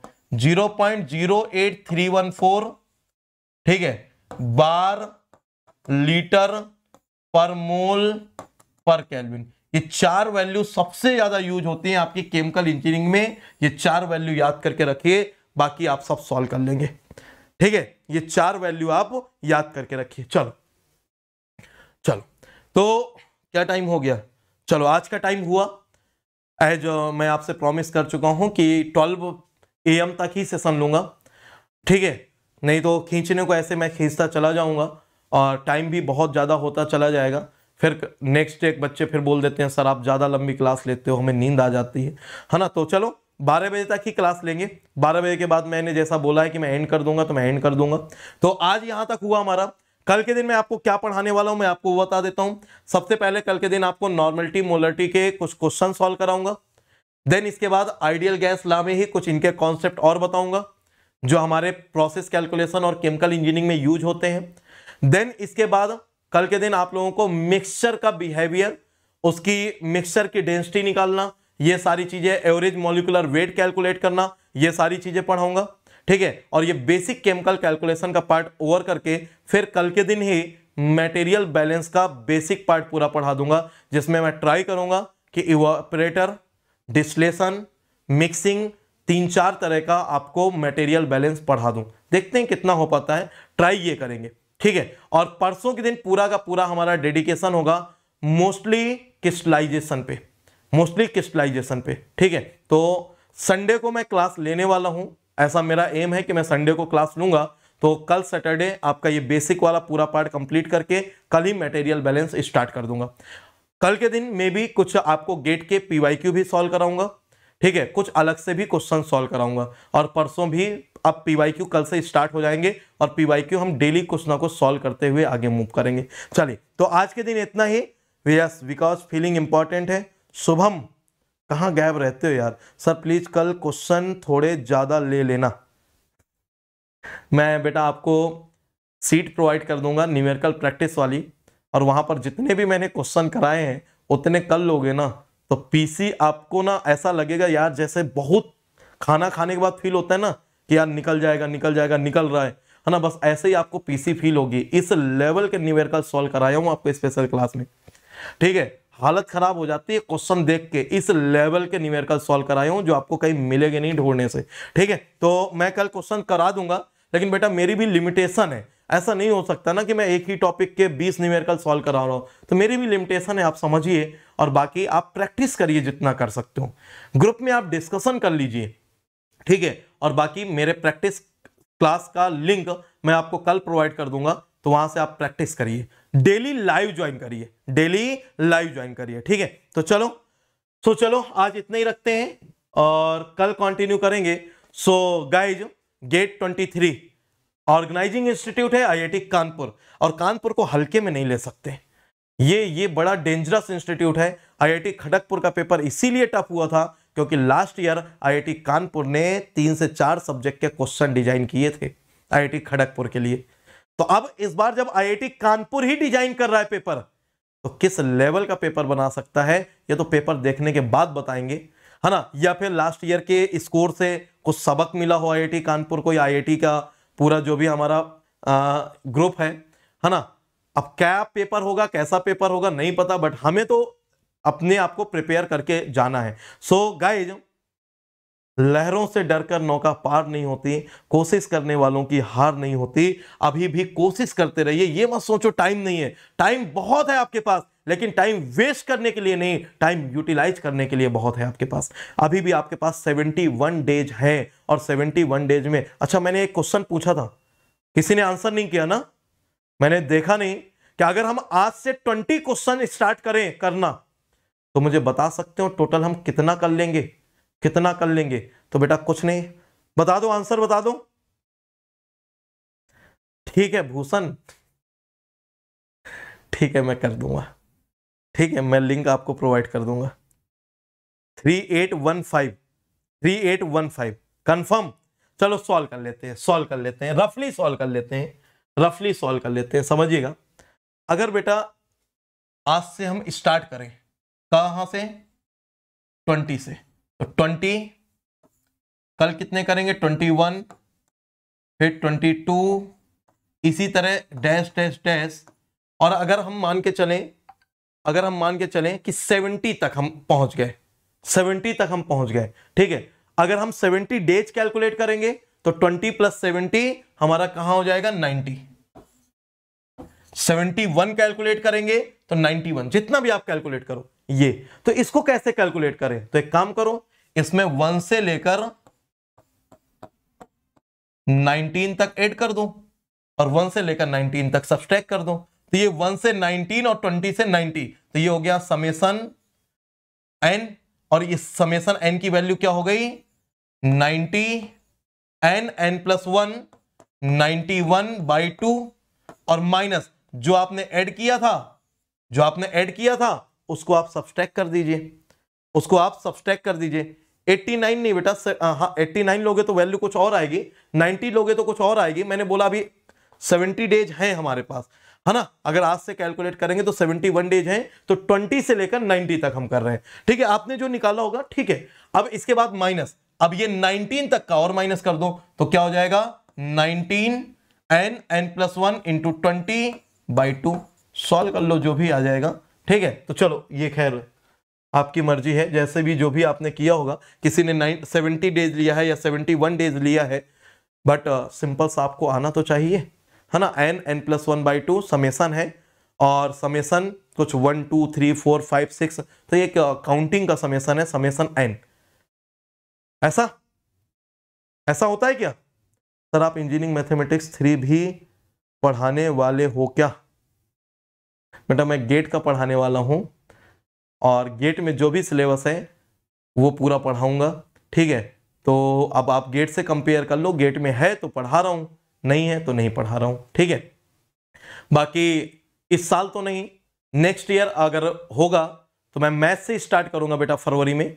यूट्यूब में मैथ से स्टार्ट करूँगा और उसमें आ, इस आ, प्लस में पीसी से स्टार्ट करूँगा। तो मैथ से स्टार्ट करता हूँ और फिर M one M two M three M four जो जो पढ़ना हो बता देना तो पढ़ाता रहूँगा, ठीक है? चलो तो अभी की क्लास एंड करते हैं, अभी की क्लास एंड करते हैं, और सेवेंटी डेज़ ट्वेल्व सब्जेक्ट कैसे कंपेयर कैसे कंप्लीट करने, कैसे रिवाइज करना है, ये सेशन 5 दिसंबर को सुमित सर ले रहे हैं, आप ज्वाइन कर सकते हैं। टेलीग्राम चैनल है, ये हमारा प्लेनेट गेट केमिकल और किसने किसने पूछा था? एक मिनट रुकना बेटा। हाँ भूषण। ये वाला ग्रुप ज्वाइन कर लो प्लेनेट गेट केमिकल है ना? जब मैं लिस्ट बनाऊँगा तो मैं लिस्ट आपको इसी ग्रुप में शेयर करूँगा।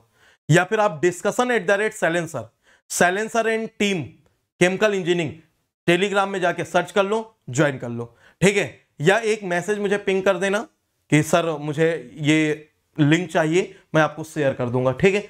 और अन अकेडमी लर्नर ऐप अगर आपने मुझे अभी तक फॉलो नहीं किया ज्वाइन नहीं मतलब मुझे टेलीग्राम चैनल में और अन अकेडमी ऐप पे ज्वाइन नहीं किया तो ज्वाइन कर लेंगे। और ये केमिकल रिएक्शन इंजीनियरिंग का फुल कोर्स बेटा मैंने आप लोगों को प्रोवाइड किया है प्लेनेट गेट में, जो कि लास्ट ईयर प्रोवाइड किया था, आप उसको फॉलो करिए। प्रैक्टिस सेशन मैंने लास्ट ईयर 41 लिए थे और इस ईयर 21 लिए हैं। नहीं लास्ट ईयर 42 लिए थे। तो इन सभी प्रैक्टिस सेशन को ज्वाइन कर लीजिए। पीवाईक्यू सीरीज़ अभी 30 दिसंबर को मैंने कंप्लीट किया है 29 दिसंबर को, और जिसमें टोटल 29 सेशन लिए हैं, आप ये वाला कर लीजिए। लीक वाटर सीरीज़ आपका लास्ट ईयर मैंने लिया था तो ये और ये आपके रिवीजन के लिए है। ये बेसिकली शॉर्ट नोट्स के लिए था, और ये आपके फुल रिवीजन के लिए था। ठीक है तो आप यहाँ से सीआरई कंटिन्यू कर सकते हैं, और ऐसा कंटेंट आप कहीं पर पैसे देकर भी नहीं खरीद सकते हो, ये मेरा चैलेंज है। ओपन चैलेंज है, किसी को भी ऐसा कंटेंट जो मैंने पढ़ाया है वो किसी को भी पैसे देकर आप परचेज नहीं कर पाओगे। तो जब फ्री ऑफ़ कॉस्ट मिल रहा है, थोड़ा मेहनत कर लो। किसी से नोट्स मत मांगो, अपने नोट्स खुद के बनाओ और लेक्चर को फॉलो करके बनाओ। लेकिन अगर आप प्लस लेने की सोच रहे आप प्लस के स्टूडेंट हैं तो यूट्यूब वाला कोर्स फॉलो मत करिएगा। प्लीज़ लेटेस्ट जो मेरा कोर्स है, जो मैंने अभी सितंबर में स्टार्ट किया था 27 सितंबर को, वो वाला कोर्स आप फॉलो करिएगा और वहाँ से पूरा सीआरई कवर करिएगा। वो अभी तक का बेस्ट कोर्स है in this world best course है, वैसा कोर्स आपको कहीं नहीं मिलेगा, ठीक है? और ये जो मेरी रिस्पॉन्सिबिलिटी थी, उन रिस्पॉन्सिबिलिटी में कंप्रेंसिव कोर्स तो मैंने कवर कर दिया।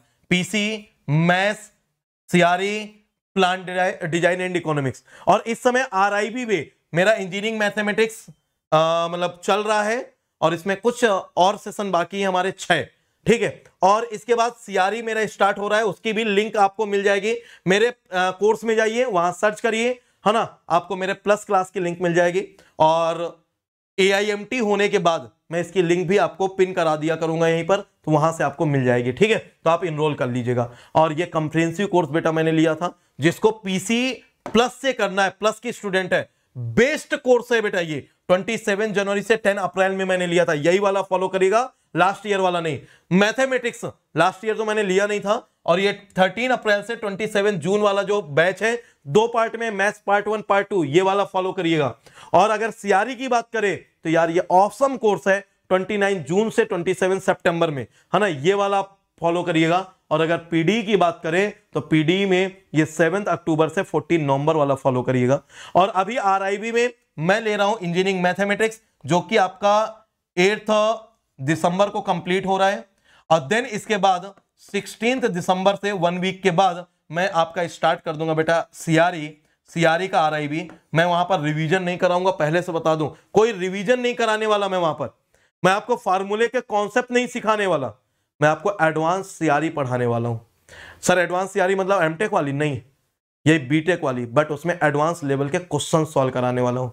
जिन्होंने सीआरई पढ़ रखी है, वो रिवीजन करके रखिए ठीक है मून नाइट मैराथन की मैं लिंक एक बार फिर शेयर कर दूँगा। आप रिवीजन करके रखिए वन वीक का गैप लिया, आप उसमें कवर कर लीजिएगा। ठीक है, लेकिन सीआरई कंप्लीट करके रखिए, और इसके बाद मैं आपको कुछ गजब लेवल के कॉन्सेप्ट गजब लेवल के क्वेश्चन सॉल्व कराता हूँ। मज़ा आएगा। भले ही एक दिन में दो या तीन क्वेश्चन हो पाए दो घंटे में, लेकिन वो तीन क्वेश्चन आपको इतना कुछ सिखा के जाएँगे जो आप कभी खुद से नहीं सीख सकते हो, इतना सिखा के जाएँगे। मज़ा आएगा ज्वाइन करिएगा। और जिसको लगता है, सर, क्या होगा? तो मेरा लास्ट ईयर का आर आई बी का ज्वाइन करके देख लो। है ना? उसी में ही हवा खराब हो जाएगी। लास्ट ईयर का ज्वाइन करके देख लो। मज़ा आ जाएगी बेटा। चलिए, लेकिन ये उसी को समझ आएगा जिसको सियारी आती है। है ना? कोई फ्रेशर ना जाके ज्वाइन कर ले। फ्रस्ट्रेट हो जाएगा सियारी से डर लगने लगेगा। ऐसे ही जैसे भूख भूत लगते हो। है ना? चलो, और ये प्लस और आइकोनिक दो तरह के कोर्सेज है, किसी भी कोर्स के साथ कंटिन्यू करेंगे। चंगू का कहना है चाहे प्लस ले लो, मंगू का कहना है चाहे आइकोनिक ले लो, लेकिन भैया code S K S five zero के साथ कंटिन्यू करिए, ठीक है? और कोई भी कोर्स लीजिए, अगर आप एक साथ पेमेंट नहीं कर पाते तो आप नो कॉस्ट ईएमआई में ज़ीरो परसेंट इंटरेस्ट से same amount part wise pay कर सकते हैं ईएमआई के टर्म में। और ईएमआई कैसे कैलकुलेट करना है, आपको एक रुपए एक्स्ट्रा नहीं देना। मेरा पीडी का कोर्स ज्वाइन करो, उसमें ईएमआई कैलकुलेट करना मैंने सिखाया है। कोई इंटरेस्ट नहीं देना। ठीक है, जितना अमाउंट होगा उसमें टोटल ईएमआई कैसे निकालना है आप निकाल लेंगे और कोड आप यूज़ करेंगे S K S five zero ठीक है आइकोनिक में भी सेम आप कोड यूज़ करिए S K S five zero और मूव कर जाइए यार बेस्ट फॉर्म में। ठीक है, और रैंक इंप्रूवमेंट बैच अगर आप चाहते हैं, है ना तो ज्वाइन करिए और यहाँ पर अभी मैं ले रहा हूँ मैथ फिर मैं स्टार्ट करूँगा सीआरई सीआरई स्टार्ट करूँगा सिक्सटीन ऑफ़ दिसंबर से और ये एंड हो जाएगा कब? फिफ्थ जनवरी को फिनिश हो जाएगा। फिफ्थ जनवरी को आपका ये फिनिश हो जाएगा। ठीक है? फिर इसके बाद आपके पास एक महीने, पाँच दिन और बचेंगे भाई एग्ज़ाम के लिए। अलेवेंथ को एग्ज़ाम है। तो इतने पहले हम कवर कर रहे हैं। आप, अगर आपका कोई और फ्रेंड कहीं और कोचिंग करता हो तो पूछिए। उनका अभी दो दो, तीन तीन सब्जेक्ट चल रहे होंगे। सुबह से शाम तक कोचिंग जा रहे होंगे। आप लकी हो कि आपको प्रैक्टिस करने के लिए इतना टाइम मिल रहा है। आप लकी हो, हर चीज़ हम लोगों ने बहुत टाइम से फिनिश की है। गेट एक्सपेक्टेड सीरीज़ भी बहुत टाइम से फिनिश कर देंगे। आप करो तो यार। है ना? और ये आपके कुछ रैंक इंप्रूवमेंट बैच की कहानी है। कैसे कैसे क्या क्या चीज़ें मिल रही है, आप देख लीजिएगा। Complete one to one live question battle आपको कंप्लीट में मिल रहा है। आप फाइट करिए यार प्रैक्टिस करिए, ठीक है? और जितने भी बेटा सेकेंड ईयर और थर्ड ईयर के स्टूडेंट हैं, उन सभी को एक न्यू स्टार्ट करना चाहिए। थर्ड ईयर वाले तब स्टार्ट करें जब गेट का एग्ज़ाम दे लें। सेकेंड ईयर वाले, बेटा अभी से स्टार्ट करें। मुझसे कांटेक्ट करिए। मुझसे डिस्कस करिए। ठीक है, आप मेरे कम्युनिटी पोस्ट पे जा सकते हैं अन अकेडमी ऐप में, वहाँ पर आप कमेंट कर सकते हैं। और आपका जो भी डाउट है, आप मुझे कमेंट करिए, मैं आपको वहाँ पर रिप्लाई कर दूँगा। आप जैसे यहाँ पर पूछते हो, मुझे, मैंने देखा था, एक बच्चे ने कुछ बोला था बट उस टाइम में पढ़ा रहा था तो बीच में मैं कमेंट नहीं ले पाया। बट अब मैं आपका कमेंट ले लेता हूँ बेटा, अगर आप प्रेजेंट हो। और पेशेंस रखिए, मैं आंसर सबका करूँगा। ठीक है बट थोड़ा सा पेशेंस रखने की नीड है। चलो तो मैं आपका कमेंट ले लेता हूँ, आपने क्या बोला था?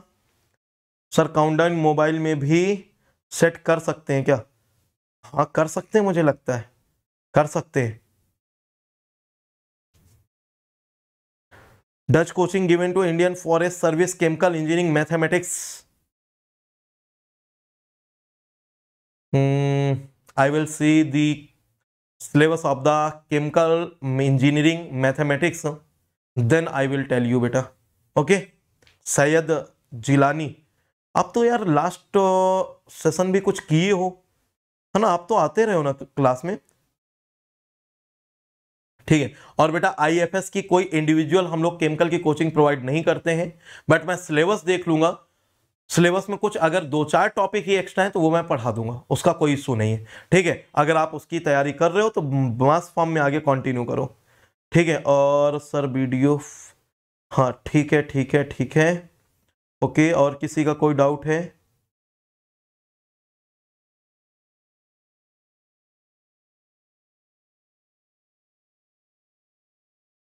ओमकार, आप सर से पूछ लेना एफएम के लेक्चर के लिए। सर, जैसे कोई कंपाउंड हो तो उसका इक्विवेलेंट वेट कैसे निकालेंगे? जैसे एससीएल दिया हो तो उसका क्या वैलेंसी लिया जाएगा? प्रशांत, ये तो केमिस्ट्री में आपको पढ़ाया गया होगा। कल मैं क्वेश्चन कराऊँगा तो आपको बता दूँगा। एससीएल का वन होता है है ना?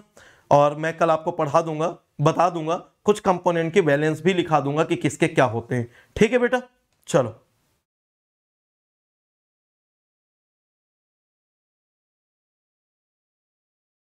हाँ।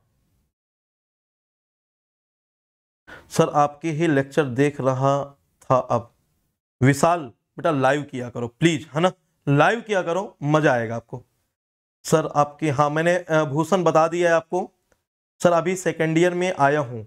गेट ट्वेंटी फोर प्लस का लाइव कोर्स कब तक आएगा? रौनक शारदा, अभी प्रेजेंट हो क्या बेटा? अगर प्रेजेंट हो तो मुझे कमेंट करो, मैं बताता हूँ आपको। प्रशांत इक्विवेलेंट वेट वाला कल आपको क्वेश्चन कराऊँगा, आपको समझ में आ जाएगा।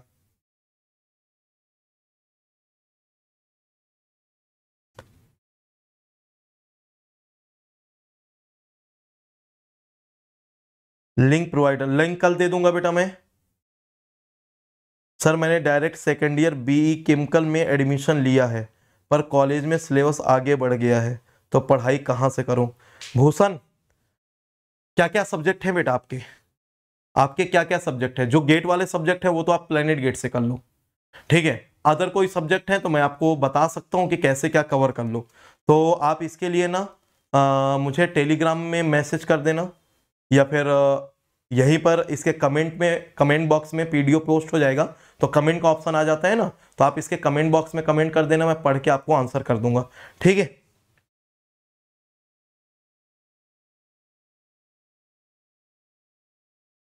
चलो। तो प्रोसेस कैलकुलेशन फ्लूड मैकेनिक्स और मैथ थ्री तो एफएम के लिए आप सुमित सर को फॉलो करिए और उनकी फुल प्लेलिस्ट है, पूरा आपका एफएम कवर हो जाएगा। प्रोसेस कैलकुलेशन में एनर्जी बैलेंस छोड़ के मैंने पूरा पढ़ाया है तो आप वो प्रोसेस कैलकुलेशन वहाँ से फॉलो कर लो। और मैथ थ्री के लिए मैथ थ्री के लिए तो बेटा मैथ थ्री तो गेट का बहुत ज़्यादा पार्ट नहीं है, थोड़ा बहुत बस कॉची इंटीग्रल वगैरह है, वो हमारे केमिकल गेट में आता नहीं है।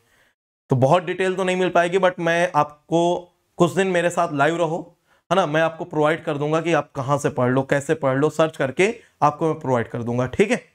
देखो, अगर किसी को सच में हेल्प चाहिए तो मैं हेल्प करूँगा। लेकिन आपकी प्रेजेंस ज़रूरी है, आपका सपोर्ट ज़रूरी है। ठीक है, एक दिन सेशन में आए, अब मैं सर्च करके आया, अब अगले दिन से सेशन ही नहीं आ रहे हो। तो फिर मैं कैसे प्रोवाइड कर दूँ? ठीक है तो मैं पहले देखूँगा कि आप डेली आ रहे हो देन फिर मैं आपको सर्च करके प्रोवाइड कर दूँगा। बहुत बार ऐसा हुआ है, मैं मेहनत करता हूँ, सारी चीज़ें अरेंज कर लेता हूँ, अगले दिन बंदे गायब हो जाते हैं। अब उनको मतलब ही नहीं है। ऐसा लगता है जैसे उन्होंने मुझे एक बार बोल दिया, अब मैं उनको उनके घर तक ढूंढकर उनको देने जाऊँ कि बेटा ये रही प्लेलिस्ट, है ना, इस पेन ड्राइव में मैंने डाउनलोड करके सेव कर दिया, प्लीज़ पढ़ लेना, मेरे ऊपर एहसान कर देना। तो ऐसा बच्चे करते हैं। तो अगर आप भूषण प्रेजेंट रहोगे तो मैं आपको प्रोवाइड कर दूँगा, नो डाउट, ठीक है? ठीक है, मृत्युंजय पांडे, कल डिस्कस करते हैं इसमें, ठीक है? अभी काफ़ी टाइम हो गया है। तो अभी एंड करते हैं, कल डिस्कस करते हैं, कल इसके कुछ क्वेश्चंस कराऊँगा और देन वहाँ पर आप लोगों को फिर आगे सॉल्व करा के सारी चीज़ें बताता हूँ। चलिए तो अभी की क्लास एंड करते हैं। Thank you very much love you all take care हँसते रहिए, पढ़ते रहिए, मुस्कुराते रहिए। प्रेशर को फील करिए, लेकिन उस प्रेशर के नीचे दब मत जाइए। और इस प्रेशर में हमेशा याद रखेगा जितना प्रेशर होता है, तभी हमारा हीरा निखर के आता है। और आप वो हीरे हो, इस प्रेशर को जो फेस कर ले जाएगा, वो हीरा बन के चमकेगा। और आप में से ही कोई हीरा बन के अभी जब गेट का रिज़ल्ट आएगा तो चमक रहा होगा अपनी रैंक से, उसके अफेक्ट से। तो बेटा, आप ही में से कोई हीरा बनेगा, कोई सोना बनेगा। तो बस उस प्रेशर को फील करिए, उस प्रेशर को फेस करिए। बस उस प्रेशर के तरह दब मत जाइएगा। ठीक है? तो लगे रहिए, करते रहिए और मेरे किसी भी सजेशन की, मेरे हेल्प की नीड हो तो आप मुझे बताइए। चलिए thank you love you all take care जय हिंद. शुभ रात्रि नमस्कार.